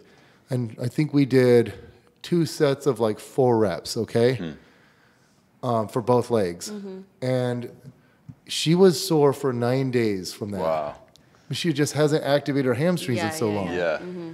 But I think my whole rationale for that was I want to show her, I want her hamstrings to feel, I don't want her sore for nine days, but I wanted them to, her to realize I can activate these again. Yeah. Yeah, yeah, yeah. So then the next week she was still sore, but I said, let's do it again. So we did it again. So then this is like, okay, this is like, like gave it to her on like a Monday, and then like the next Monday, and then now it's a Thursday. So it's 10 days later. I've given her this intervention twice. And she's like, Bret, I think I'm fixed. I'm like, what do you mean? I think it's, go- I don't feel that, I don't feel that feeling anymore. Yeah. I want a deadlift. I'm like, no, no, no, no, no. Like, uh, we're doing good. I'm, I'm having you hip thrust. You're squatting. Let's wait. Let's just be Yeah. patient. She's like, she's like, Bret, I haven't fucking deadlifted in 10 years. Okay. I'm going to deadlift. And I'm like, okay. so she pulls 155 for a double. Then she grabs the 50 pound dumbbells and does a stiff leg for 10 reps. Wow. And she's just like, "Oh my God, you you're magic. What did you do?" Yeah. Well, if if this had been early, earlier in my career, all I knew was biomechanics and mm-hmm. structure and posture and you know, so if all you have is a hammer, everything looks like a nail. Yeah. I would have tried to explain it like she had some adhesions, she had scar tissue built mm. up, she had her fascia was disorganized, mm-hmm. whatever. I would have tried to say something like, and I probably would have written a T Nation article like the Yeah, secret ham- hamstring healer. Yeah. Yeah. You do this special exercise I created, and you're gonna, you know, y- y- hamstring strains heal in ten days. Yeah. Yeah. And so, but I had been really studying the pain science at that point in time, and I, I explained to her, I'm like, you had healed up, the tissue had healed, but your brain mm-hmm. Didn't Mm-hmm. Held heal, or it held on to that, and, and it was like it, you never got confidence back. Mm-hmm. So all you needed was, you know, this guy with a large following with a PhD who Mm-hmm. I have a good bedside manner or whatever, like whatever Yeah. the saying would be with like as a personal trainer, Mm-hmm. I I make you feel comfortable. I'm right there with you. I'm I'm providing the resistance. She's confident. I'm talking to you. My hands are on you. Like all those things safe, add to the yeah. yeah. And you uh, you regained your confidence. You removed the threat, the barrier, the you know the the inhibition to do this. And so now you you know you just needed that Yeah. that confidence and so that's what uh, so th- anyway these are all psychological aspects i can't tell you how many people they say like i feel like you have fake weights here in glute lab i always set prs here but I, it's the atmosphere Yeah. you know you're around all these strong women you're around me Right. it's you know you get pumped up that's why probably Westside worked so well with Yeah, Louie. Like, you, you're gonna set a PR there, like you're Yeah. scared of dying. Yeah, exactly. Yeah. Um, Everybody's bleeding from their noses. And Right. like, you're like, okay, Right. we're doing this. So the, the psychologi- psychological aspect needs to be taken into consideration. And this is very important when you first start working with someone. If they've done body part splits and you're like, no, I don't do body part splits. I do, you're doing two full body workouts a week. Right. They're going to feel like they're not training enough. They're mm-hmm. used to training six days a week. Meet them, not even in the middle, meet them 80% on their end mm-hmm. Right. and just switch a little bit and then say, okay, for this month, like, why are we taking them from A to Z mm-hmm. instead of A to B to C to D to E, et cetera? So, uh, you know, if they like body part splits, I'll go, okay, what do you normally do? Okay, are you okay with, uh, how about this? How about having a Monday is like quad and glutes, Wednesday will be hamstring and glutes, and then Friday will be just like pure glutes, like um, you know more like hip thrust and abduction moves. Whereas Monday will be like more squats and lunges, and Wednesday will be more like deadlifts and b- back extensions and stuff. And they're like, yeah, that works great. And then I'll throw in like upper body pressing on Tuesday and upper body pulling on Wednesday, and maybe Saturday I have some like arms or some whatever delts or something. But Yeah. that that works. They like that, mm-hmm. and I just don't overdo it. I don't give them too much, and they can do it. And that now they're sticking to the body part split, but they're now doing more glute stuff. More, they're doing hip thrusts. They're doing abduction. They start seeing results after a couple months. If they're seeing results, they become your soldier. Yeah. Yeah, they like, do they'll do whatever. whatever. Yeah. They get you get them. I always say you get them to the compliment phase. Yeah. where people at work are like, "Are you working out? Yeah. What are you doing?" What do you want? I want what you're having. Like I, uh, uh, you know, family members, friends, colleagues. Yeah. Then they're like, oh, and then they're like, the- they're like so motivated, and they'll do whatever you want. But you Yeah. got to get them to that point. But don't, don't be so. Like I, I remember these people are like. You, th- th- these functional trainers, like no one comes and is like, I just want to be functional. That's my number one goal is to be functional. I'm so not functional right now, and I just want to be functional. I don't want fake strength. I want real life transferable Wheelbarrow strength, functional yeah. strength. Wheelbarrow. I want old man farmer strength. Yeah. So no one says that in all my years. No one said that. I'm not saying people don't like it, but they tr- Yeah. they come to you mostly for physique or whatever, and then. And it's cool to get them strong, and I like getting them strong because then they, they transition from training Right. for like purely aesthetics to actually enjoying the, the strength building aspect mm-hmm. of it. But you, you, you they, these guys would be like, this was like popular like eight years ago. People like, you'll never, I'm a functional training studio. You'll never catch, you'll never catch anyone in my gym. I'll drop dead before you ever catch anyone doing a curl in my gym. And like, think about curls. Like, they're probably one of the most, actually one of the most Yeah. functional. Because how mu- often are you carrying stuff? Totally. like if you but how much of us do real world stuff anyway like Right. most of us sit on the couch and if you ever do real world stuff you have to move like help someone move Yeah. you're using your biceps a lot Yeah. like you're in an isometric curl Yeah. walking around like that so but anyway uh, curls probably are very functional but Yeah. anyway they'd be these trainers would be like well I, I make an exception. We'll do half kneeling kettlebell curls, Right. like single arm. totally. Like as that's less functional than doing a barbell curl. I'm sorry. Like I did the EMG, measured EMG of a 135 pound barbell curl. Yeah. Like not only just biceps, but your front delts, your Mm-hmm. whole upper back, your erectors, your traps, your everything's going on. Lit It's a heavy lift, and that. Yeah. In, in general, if the lift makes you breathe like crazy, it's good. It's you know? working. Yeah, yeah. So, so like, uh, I just don't like when people you, you say that to yourself. Oh, I'm. I, you'll never catch me doing this in the gym. Then you don't care about your clients that much. Yeah. I'll do like you know if someone comes in here and no, I wouldn't feel comfortable teaching certain things. Like I'm not. I love certain Olymp- Olympic variations, but I'm not Olympic weightlifting coach. I'm not Right. a strongman coach. I'm not. Uh, you know, I'm not amazing at handstands. I'm Right. not amazing at Turkish get-ups. I can't. I'm not. You know, I, I can help people. Mm-hmm. In fact, I, I'm bored, so I'd be like, okay, let's get good at Turkish get-ups. Here, I'm gonna. I got YouTube pulled up. Yeah, Let's try I've it. described it in my books. You know, Here's how it goes. here's yeah. we go. Okay, and I'd also like to see if I could like come up with a new way that I feel is better than like how they the sequence Yeah. that they do it. I'd be Yeah. like, I would be cool for me to be like, we took out this part. It, think about it. It's useless. Yeah. You just do this instead, and you're stronger. Yeah, Right, that was right. the American get up. Yeah, now it's the American Gap. exactly. So I think it'd be fun for me. But like, I, I uh, anyway, I would never. I like all exercises. Yeah. I love Olympic weightlifting. Mm-hmm. I love strongman. I love CrossFit. I love powerlifting. I love training for sport. I like Yeah. watching what the strength coaches do for all the different sports. I love bodybuilding.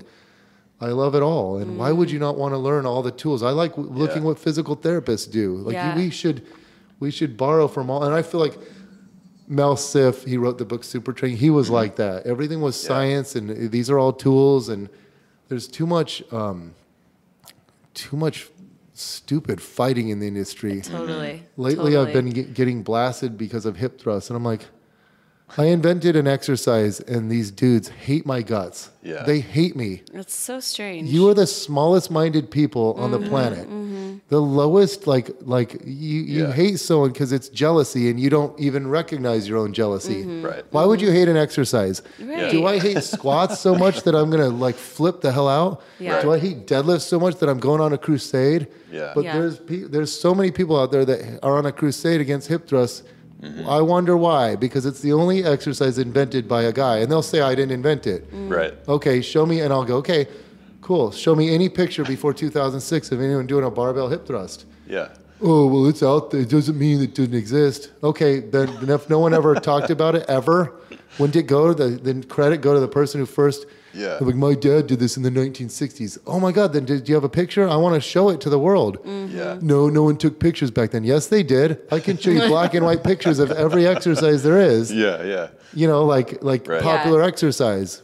There's Yeah. po- there's exercise of people doing bench press off of crates before there were like actual Oh, yeah. bench stations. And Well, there's like the hand drawn York barbell Yeah. books. You like from way right. back. Yeah. Show yeah. me a barbell hip thrust from Right. that if they, if they existed back then. And it's so silly. They don't understand that it's they're just completely fueled by jealousy. And now that's what I a big component of my life is just dealing with these jealous. Yeah. And if that didn't exist, if that wasn't a human condition, Mm-hmm. I could spread the popularity of hip thrust with much more efficiency. Yeah. You know? But I Yeah. don't know. Actually, sometimes like uh, what what did they say? Bad press is still good press, right? Maybe, maybe but- maybe it brings more Yeah. attention. It's, but there's something though that, that happens. I mean, this happens in the in the nutrition world. It probably, it probably happens in all, All genres of right, life, you know. right. But the ones that I'm kind of most familiar with is like everybody wants to poo-poo whatever the new idea is. Like, oh, there's no way. Oh, that's just too good to be true. It's just back to the same old things, you know. And like in nutrition, it'd be, well, you just got to move more and, and eat less, and there's there's nothing new to be learned here. You know, so there's like always this tendency for people to want to claim, no, no, no, nothing new. You know, so you do have to defend it, right? Because you're like, no, man, this is actually working, and it's it's this is a real thing, and you kind of do have to defend that until there's like until it becomes the there's nothing new thing. You know what I mean? It's- So it's Yeah. funny. There's a quote by Arthur Schopenhauer, and it says, "All truth passes through three stages. Hmm. First, it is ridiculed. Second, it is violently opposed. Yeah. Third, is it is accepted as self-evident. Right. And here's the problem. I thought we were at stage three. Yeah. then something recently happened to make me realize we're Yeah. back at one and two again, and it's so mm. silly to me. Like it's all these conspiracy theorists. They think that I've fooled a million people out there, all my followers, into thinking hip thrusts actually work, and they actually don't do anything. And they'll say they don't do anything. So you're you feel this glute like when I do hip thrusts, my glutes. I feel Yeah. so much tension in the, like Yeah. the most Well, tension I can sore? possibly produce. I feel the burn like uh, mm-hmm. Yeah. the- and they do nothing. Yeah, they do nothing. yeah. Like you're so clueless about. Okay, so so so the, you know you, Yeah. you can't even argue with these people. They're conspiracy theories, and they think I've fooled everyone. And you you know I realize me being like I always want to be, you know, I want people to like me. I mm-hmm. want my my integrity matters to me. I want people to trust me and know that I, um, you know. But you know, it, it, it can't happen when you get popular. Like Mm, yeah. like the, the world forces you to become. uh, Okay, have you seen like okay, Greg Glassman with CrossFit? He has this Yeah. reputation just going after everyone now Right. and just suing everyone. Right. But in his defense, like yeah, everyone bashed CrossFit. Everyone, and meanwhile, it's an awesome system that Yeah. people mm-hmm. enjoy. they love. It's yeah, changed the totally. lives of It's changed of lives thousands of- people, mm-hmm. millions of people. and Yeah. and you have so many haters out there, and, mm-hmm. and guess what? Most of the haters are men. Mm-hmm. Well, who got into strength and conditioning? Like, well, like who goes into strength and conditioning? Like, there's a certain maybe it's fifty percent of legit people who just love the field, and then it's Yeah. like the other fifty percent are like bullies, or Yeah. it makes them bullies. Mm-hmm. They really like bullies, and they realize they can be bigger bullies with if they lift Right. weights, or like they were they were they got strong and big and became bullies. But it's the mm-hmm. most insecure industry mm-hmm. known to man. For sure. The most mm-hmm. insecure people just looking to bash. I can't post a before and after picture anymore without everyone mm. saying, "There's." I have to delete 50 comments. Yeah. This is my guest that I put on here. I'm showcasing her gains, and Yeah. 50 people I have to block because Right. they go on and disrespect my person, say it's fake. And I know this person. Yeah. I mean, I almost want to like, I've thought about like, like filming, uh, like going to this person. Um, like today, I posted Brittany Perley. All right. I want to ultrasound her glutes and like show like, look, we're we're live, or here's an MRI. Like, Yeah. we we're going to. oh, Here's this doctor. Not a fake butt. Now, Yeah. let me talk. Let, let me show you these fifty. Like, uh, you know, I had to block these fifty comments, but they're they're the most hateful, ugly people ever. Mm-hmm. Just ugly, ugly, hateful people. Yeah. And they, they, I mean, today someone's like, the stuff they say about me. There's even Reddit threads about me now. Apparently, like I won't read them, but like what a Yeah. scam artist I am. Right. And it's just a sad state of affairs. There's so many, so much ugliness and jealousy in strength and conditioning, and it just goes with the territory of getting popular. But Yeah, look at Greg. Glassman became very cynical because his system works well, and it's like its own sport. Mm-hmm. Yeah. Do those same strength coaches who bash it, do they bash powerlifting?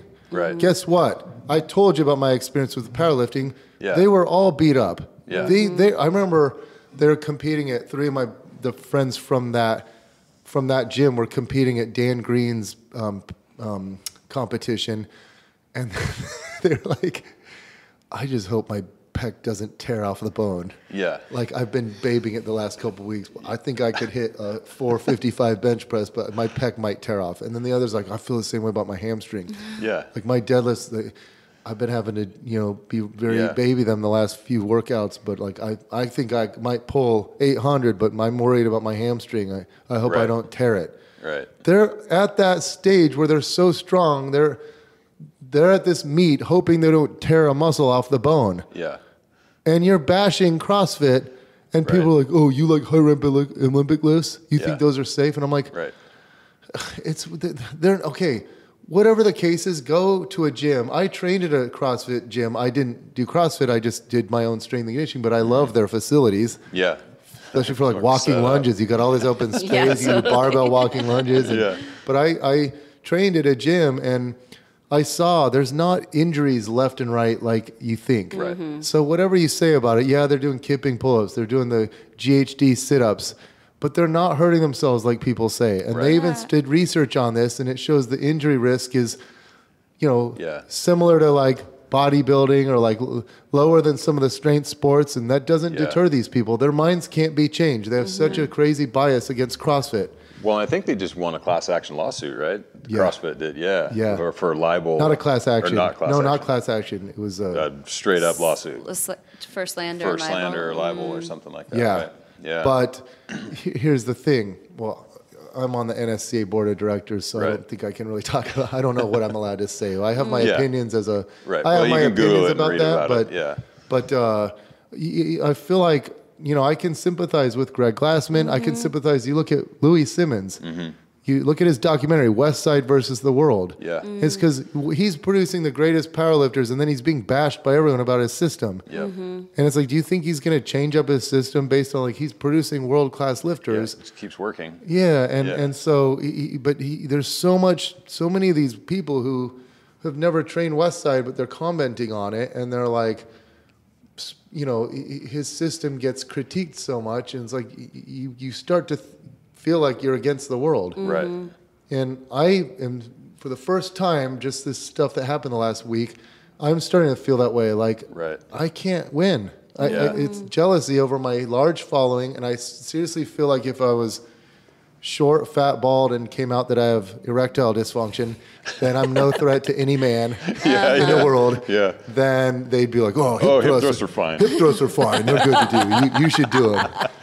I, I, I feel like it's just this jealousy thing, and these guys Yeah. can't handle it. They cannot mm-hmm. handle it. They're like, Right. it does nothing. Oh, and then these girls are like, I feel it, and then they, it's crazy. They will say, like, I used to do squats all the time, and my glutes never grew that much, and I started doing hip thrusts, and my glutes grew, grew a lot, and they don't say anything. They don't even acknowledge that. They won't change their mind. I could have a thread of 1,000 women saying, Look at my results. Before I started doing hip thrusts, I was training just as hard, and then I mm-hmm. started doing hip thrusts. Look at my results. And it could show huge before and mm-hmm. after picture differences. It wouldn't change their mind one bit. They'd never actually listen to these women and go, Huh, interesting, good to know. You can't change their mind. Right. Yeah. And they hate my guts. They think I'm a scammer and a fraud and a. And This, they, yeah, the thing I'm hearing though that I think I hope resonates with people is that if your trainer, your coach, or whoever you're working with is almost that, um, you know, has that like, what's the word I'm looking for? Like they, there's no flexibility, Yeah, you know? way or the highway. Yeah, that like that's your first red flag. Like you, what I'm hearing from you is that someone comes to you and you want to meet them where they are. You want to enroll them in their possibility. You want to like help them to see their potential so that you can help them bring out their like their highest potential. Whereas what I'm hearing is that a lot of these people are like you come to me and it's my way or no way. And it's like almost if there's anything people take away from this conversation is like just listen to what your trainers are saying and like are they willing to meet you where you're at and discover with you your potential rather than like being this ultimist of like this is how it is and there's no other way it could possibly work. Well, that's what I try and do with my glute squad. It's funny. So I'll have, you know, 20 girls come at my five o'clock, 20 at my six o'clock. And like, it used to be when I first started glute squad here, I, I, it- I would just have a whole circuit planned. Mm-hmm. Okay. And they loved it. But that didn't yield the best results. Mm-hmm. And so I broke it into the five o'clock and the six o'clock, and I had the five o'clock do a more structured, but the six o'clock was more for the people who like the circuit stuff. And then I'm like, they're not seeing the results that the five o'clocks are. So I made six o'clock just like the five o'clock, but they they do their so here's what we do with glute squad now. You do hip thrust first, all right, and you you know because look at all those benches that I have, and you do like four or five hard sets, okay, and then after your hip thrust, you do a quad exercise. It's either a squat or a single leg squatting or, or a leg press or a hack squat, okay? Then you do a hamstring exercise. It's either a, a deadlift or a good morning or a 45 degree hyper or a reverse hyper variation or a Nordic ham curl, okay? Then you pick a uh, abduction movement. Could be seated, it could be standing cable, it could be, you know, something with the glute loops. Mm. And you do about four sets of each and you do that twice a week. Now, for some of them, I have them doing something close to Booty by Bret, where they're like, "We want to, we want to, Bret, we really want to focus on our squat this month."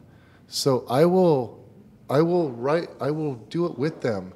I make them come up with the program, but I'm mm. guiding them. Mm-hmm. You know, like I, love said that. earlier, I can always be a teacher. Mm-hmm. I'm always going to be a teacher. Yeah. So I have them write down. I go, okay, what are we going to do? You guys want to go up on squats? So what do you think we'll do first each day? A squat. Okay. What do you want to do on day one? And then I'll get them. If they don't, if I don't like their answer, I'm like, do you think that's? Oh, or then I'll get them Yeah. to arrive at w- what what to Yeah. do. Then I program their squats, and so I'll go look, pick them up or body lift. Chin ups. Okay. Let's do this for chin ups, and then now you guys do the rest.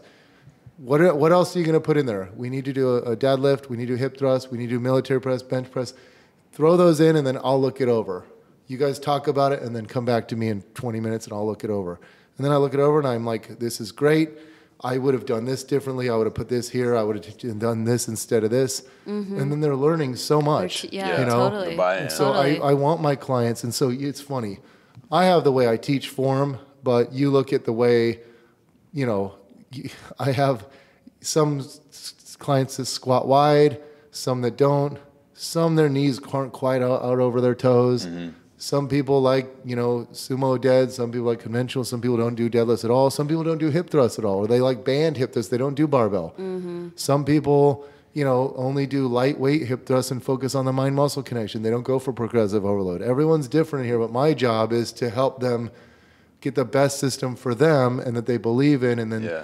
if I believe they'd benefit from something else, convince them to try it, but not to, again, not to like, I wouldn't have many clients if it was just Right. like, this is the This system. is the only mm-hmm. system. This is the way you do it. If you can't handle it, get out of here. They all do mm-hmm. different stuff. Yeah. They do different exercises. They do different. Some of the competitors, they come in. Their coach tells them, "I don't want you building any more quad," Mm-hmm. so they don't do any of the squats or the stuff like that. They do more posterior Right. chain, which is fine. Yeah. And my job is to just help them. And I don't mind that they have other coaches. I just try to get them Yeah.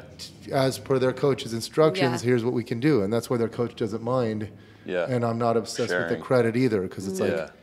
So the um, and I'm glad that you're talking about this because I think that Glute Lab, the book, does a really good job of laying out a framework for figuring this stuff out. You know, how are you going to take a smattering of this and a smattering of that, and like the importance of, of prioritizing.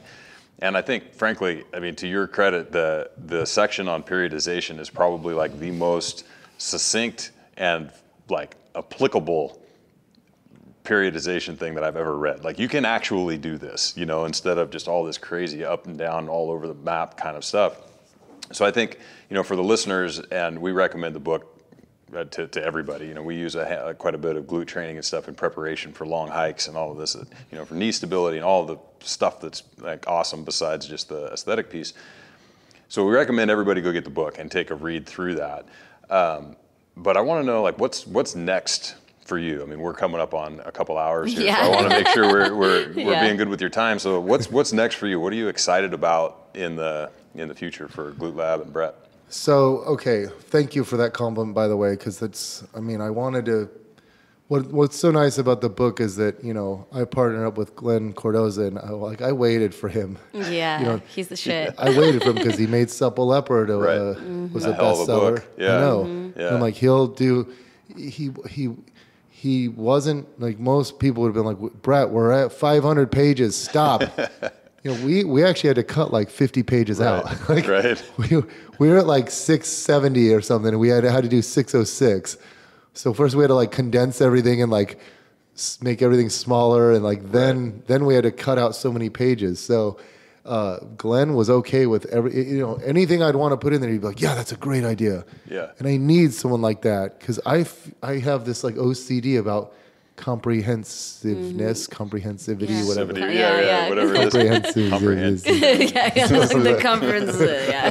but um, I, I need it to be at that time. This is what I know. Right. And what was so cool is we were editing the book up until a month before. You know, it was like September seventeenth was the release date. yeah. I seriously think up until September we were adding more stuff into it. Totally. That never happens with books. Yeah. Right. And that's because Glen is good friends with Erich, the, the, the owner of Victory Belt. Like, if it weren't for that, Yeah. it's mm-hmm. such a good book. Like, I am so proud of it. We mm-hmm. spent two years of our lives on that. Yeah. It's it's my magnum opus. So I would like to update it. And it's funny. It's like I don't even like. Yes, I want it to do well, but like look at the ratings. It's like mm-hmm. all five star reviews on Amazon. Mm-hmm. People Yeah. love it, and I'm so proud of it. I'm so glad that it's helping people. And I will. I want to update it every couple years, you know, Yeah. or mm-hmm. every few years at least. But you say what's next for me? What I realize, okay, I never wanted to become inaccessible. Mm. I never wanted to be. I see a lot of people in strength, strength and conditioning. It's weird. They got these crazy egos. I saw it mm. with all the guys when I was coming up. I'm like, they think they're like. I'd go to seminars. This is before anyone knew of me, and I'm like, Yeah. they act like they're. I just I can't stand. I look at them and I I try and meet some of them and Yeah. I, they'd blow me off, or I, I see some of the ways some of them act and and hear stories, and I'm like, why are they so conceited? Like you're still a personal trainer. right. Like, if you were all that, you'd have your own chef and personal trainer and chauffeur, and right, right. you'd have your own staff of 30 people working for you. Like you're going, to, you're still the personal trainer. Like you're not. I, I mean, I don't think anyone has a right to treat people like crap in Right. life, but if if that were to exist, it wouldn't be the personal trainer that deserves to treat everyone like crap. it's weird, and it's happened to a lot. I won't name names, but it's happened to a lot of people in my industry, and I've noticed that it's some of these people become bizarre as they age, and some of the great influencers in strength and conditioning became weird as they got older, and a lot of them become these curmudgeons and stuff. So Yeah, I don't yeah. want that to happen. So I want to be like, so what can prevent that from happening? Well, you got to be working with people. You got to be, you know, a man of the people. And so I don't want to become inaccessible, but I still answer DMs every night. Mm-hmm. And, you know, it takes me four hours now, four hours a, a night.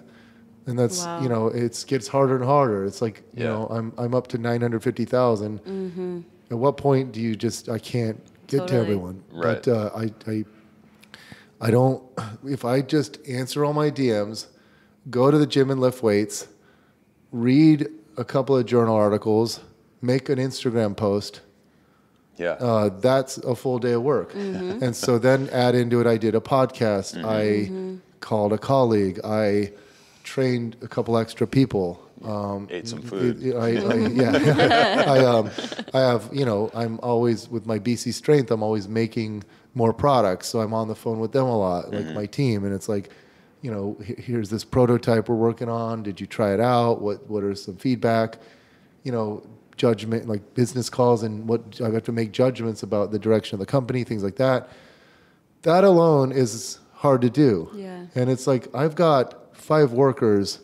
We work we work seven days a week mm-hmm. because I I set the example. I pay them well, but I I work my butt off. You know, I probably work an average of ten hours a day, 365 days a year, and uh, and they do too. And so what we're what what what we were able to do with my company is like Yeah. more than companies that have yeah. two, three hundred workers. You know, like uh, we, we we we crush it.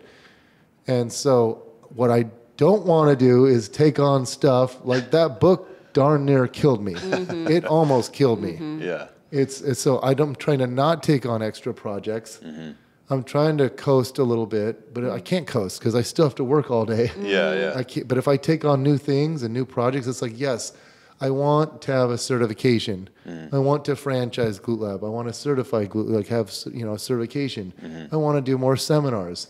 I have all these ideas. I have this list of blog posts. I want to get back to blogging. I miss it. you know, Yeah. I want to. Uh, I have ideas for inventions. I have uh, uh, another book that Glen and I want to write.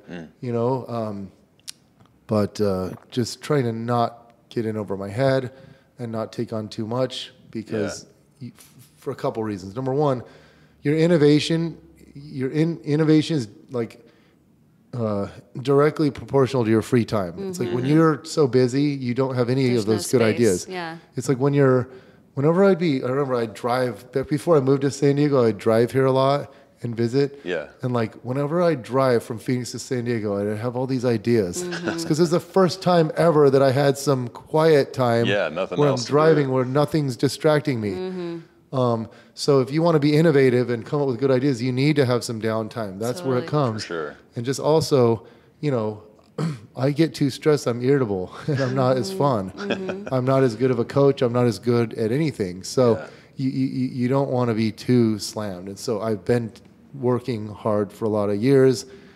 I'm I I almost identify with it. Like mm-hmm. I'm proud of it, and it's like why cool you you outwork everyone and Yeah. and you make all this money and you're not as happy as everyone else because I'm now feel guilty to watch Netflix for t- an hour. I watched Yeah. this movie Parasite last night. Oh yeah. Did you hear about it? I heard about it. I haven't seen it. Yeah, my niece told me to watch it. Won all these awards. It's a Yeah. Korean. It has subtitles. Oh, Right. I saw so that. I yeah. usually watch movies that I can like work. I can be on Instagram or mm. something or be Yeah. doing something. I always want to multitask, but with, when there's subtitles, it's in a different Right. language. You have to read. Yeah. You can't be doing anything. But anyways, a really interesting movie. It was pretty good. Yeah. Um, I can see why it was very unique. And I watched that, but it was like I, I start feeling guilty. I'm like, oh shoot! I hope I get to my other folder on Instagram. You know, Jesus, yeah.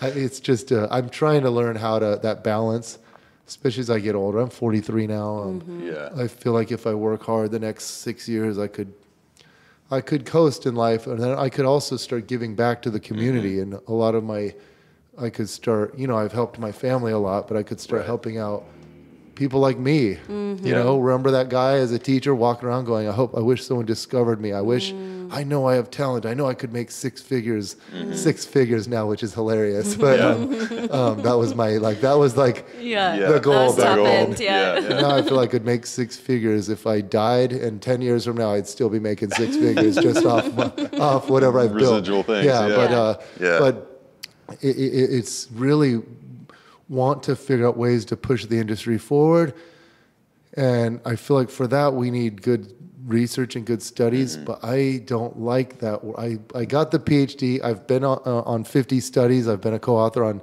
one of the authors on 50 studies, but it's such a the peer review process. It's such a it takes so much time. Yeah. These researchers deserve a pat on the back. They write up these studies, they, they conduct them, they write them up, they go through the peer reviewed process where you have these people hammer it and butcher it. And they, they, sometimes it's good. In theory, it should be they're helping make the paper better. A lot of times they make it worse because they Yeah. don't know the stuff like you do, Right. but they think they do because they have Dunning Kruger syndrome, you know? and, and then you work so hard you get it rejected because first you know the, the journal doesn't feel like it's good enough for their Mm-hmm. journal then you you spend a year and you finally get it published somewhere and it's just such a, a long arduous process so i want to hire people to do it mm-hmm. to do to carry out the research and have my own little lab Yeah. Yeah. and then I could then it's like you're employing these people and you're mm-hmm. benefiting the world and maybe I can give out grants and mm. and Yeah. fund research and stuff. That'd be incredible. be fun for That'd me. be amazing. And I want to keep coming out with cool. Pro- and one of the reasons I wanted to make products is because I don't have to mark it up. Like like, I- I'll, I'll you know I'll look into something. I'm like this thing costs five dollars to make and people Right. are char- you know people are selling it for fifty bucks. Yeah. Really, you're marking up times ten? Yeah, yeah. You're greedy. I mark things up less than everyone. Right. You know, I pride myself on. I like making good products, but they're not. They don't have to be the best quality ever. It's like the the best for the the best Yeah. for the price. You know what I mean? Right. Mhm. It's like I just made made my own balance pad. Well, the Airex I like more, but it's like fifty or sixty bucks or something. I Mm-hmm. can sell. I thought I can't. I don't even. I'm so like I have my CEO run everything now. I don't even know what things cost, but I think ours is like say it's thirty bucks. Okay. Yeah.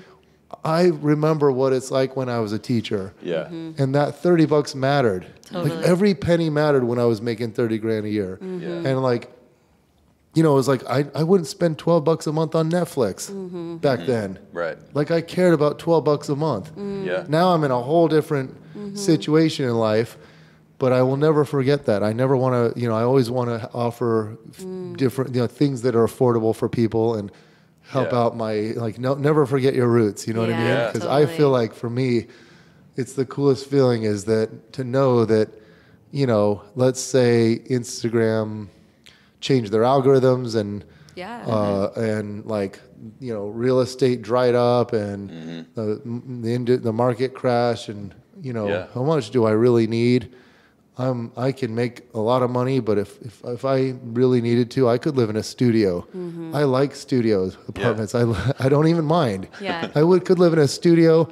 My I don't go spending tons of money. I don't go out to eat every day. I could. Uh, I I like working and I like reading Yeah. and I like studying. I I flew to Tampa to visit my friend Paravella. His I spoke at his camp last week, and. Um, um, on the flight home, I read six journal articles. Like I have this folder that I get, Yeah. I get backed up, and a, a Yeah. good night for me is reading, getting caught up on my my journal articles I want to read. And so when you're a when you love your your field and you love reading and studying, and you can occupy yourself that way, then you don't need so much money because you're Yeah. you're having fun studying Yeah. and working and learning. And so I don't I don't have to entertain myself by spending all this money. My you don't my have to fill the void. yeah, you don't have to fill the mm-hmm. void. The foods mm-hmm. that I like are, you know, I, I always joke I can live off protein shakes, cereal, nuts, seeds, uh, dried fruit, and yogurt. Those are like my and eggs. Those are my Yeah. staples. You know, that's like ninety percent of my my food is that. The food I show on Instagram is deviates from that, but Right, that's right. because it's it's the It's stuff that's worthy. fun. Right, Yeah. it's Instagram worthy. But Yeah. anyway, I, I, I still drive a ten thousand dollar truck. I could care less about it. My friend Paul always tells me to buy a Tesla. And I, I don't care about what car I drive. Right. I don't. I'm most of my clothes I order off Amazon. I don't Yeah. care about that stuff so much. So it's a cool feeling to know I'm taken care of for life. I'm Yeah. set. Yeah. I'm set for life. I worked my way up in this industry. And the next chapter in like maybe five years is going to be how can I give back and how can I help push the field forward.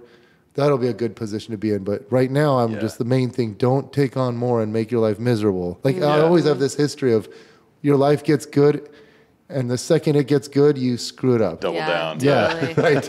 I feel that. I'm mm-hmm. familiar. I relate. Yep. yeah, mm-hmm. yeah. Well, That's awesome. It's so cool to finally meet you. You know, Katie and Glen have talked about you for so long. And before we went live, I was saying that literally Katie has been following you since the beginning. And it's so cool. And they have so much respect for you and so much love. And I totally can feel what they talk about like that you're just so family style and that you're humble and that you're just really about loving what you do and making a difference. And so thank you for your time and thank you for what you're doing and thanks for letting me letting us just like Yeah. peek in and be a part of it Oh, it's my pleasure. I, I Mm-hmm. love this stuff. Like I said, you do all the work, and then I put out to my followers, Mm. And Yeah. they enjoy listening to it, and they learn a thing or two. So it, it's mutually beneficial. So it's my pleasure. Yeah, Awesome. yeah, absolutely. So, what's the best place for folks to find out more? So if you are listening to this and you don't, uh, you know, you can't remember my name, Bret Contreras, you could just type in the glute guy The glute guy. in anywhere. Like on Instagram, I come up. Yeah. On Google, my blog comes up. Um, I'm, I want to start blogging again, but that's where you can subscribe to the newsletter. I don't send out very often, but when I have like a new thing, I don't spam people. So, Yeah. uh, and then mostly it's just my Instagram that I'm really Mm-hmm. active now. I kind of quit Twitter, Facebook, and YouTube. Yeah, yeah, In theory, I'd love to be doing all of them, but right. how do you do them all justice? Right. It's like Instagram's hard enough. Yeah, totally. and Yeah. instagram is kind of an amalgamation of all of them now too I know. like, it's like they became Snapchat. they and became came- everything yeah yeah An all-encompassing media outlet. The only time I ever post on Twitter is so I can screenshot and put on Instagram. yeah, there you go so true. awesome, Awesome. Well, thanks, thanks Bret. again, man. we appreciate it. You're you welcome. And that's all she wrote, folks, or all Bret and Glen wrote. yes For now, anyway. For now, yeah. Well, actually, yeah, actually, that's that's a good point. there's definitely some more stuff in the pipeline. You know, before we sign off, we want to remind you guys if you have not left us a five star review, this is an awesome time to do so. We are going to read one of our recent reviews because we really appreciate it. We read every single one of them. You know, um, they're not easy to come by, you know, to get somebody to actually stop what they're doing and really take the time to write their feelings, emotions, and, you know, express whatever they have around this podcast is a really big deal. So we want to thank those of you who've taken the time to do that. And I want to just quickly read one of our recent reviews because Rachel B70 really nailed it and we just so appreciate this. So, Adam and Vanessa Lambert are two people in the world who truly care about the physical health and emotional mental well-being of others and it shines through on this podcast and through their amazing Bee the Wellness retreats. They have created amazing environments through the airwaves and in real life for you to embody your highest self. Aside from having a wealth of knowledge about physical health and interpersonal topics, their compassion, empathy, and care towards others is inspiring, uplifting, and motivating. I have no doubt you will find something within their life's work and on their podcast that will propel and encourage you to live a happier, healthier, more abundant existence. Wow, Damn. we should just use that as our bio. I know. Seriously, that Wow, is that's- actually that is really nice. It That's is like- really it's nice. incredibly nice and very well written. very well written yeah i Yeah. And, you know and that's that's honestly like you guys don't get it you don't have to write something that you know long or profound Right. or even perfect but it really when we read these things you know we're going into five years of our podcast like it's a lot of work. We Mm-hmm. pour our heart and souls into this show and to the guests that we bring on. And so when someone takes a moment to write something like that, it really, I mean, it means a lot to us. Yeah, hundred percent. So if you haven't done it yet, scroll down into your iTunes feed about halfway. You'll see five little stars. Click the five stars, and right under, you'll see write a review. You click that, pop a couple words in, and every time you hear us do this little bit on the podcast, you will have an emotional box checked. Yeah, it's true. it's true. And won't that feel so good? Yeah. yeah, yeah. No, that's a good. That's a good point because we really do appreciate it, and we thank all of you who have done it. Yes, And so, if you have done it, every time we say this, you get a little attaboy. exactly. Yeah, Yeah. that's cool. That's I never even thought about it that way. It's just like ongoing positive affirmation that you're doing good in the world. That you checked a box, and I don't know about you guys, but I love a checked box. It's Yeah. my favorite. yeah, unless it's your inbox, in which case you just don't seem to care. then I just ignore it. but you know, it's funny because I do this. I do this with podcasts. Like I'm like, oh damn, I want to leave a review, and then when I hear them say it, I'm like, I did it. Yep, that's me. They're talking to me right now. They're talking to me, and I already did it. All right, guys, thanks for joining us. We look forward to seeing you again next week. Bye. Bye.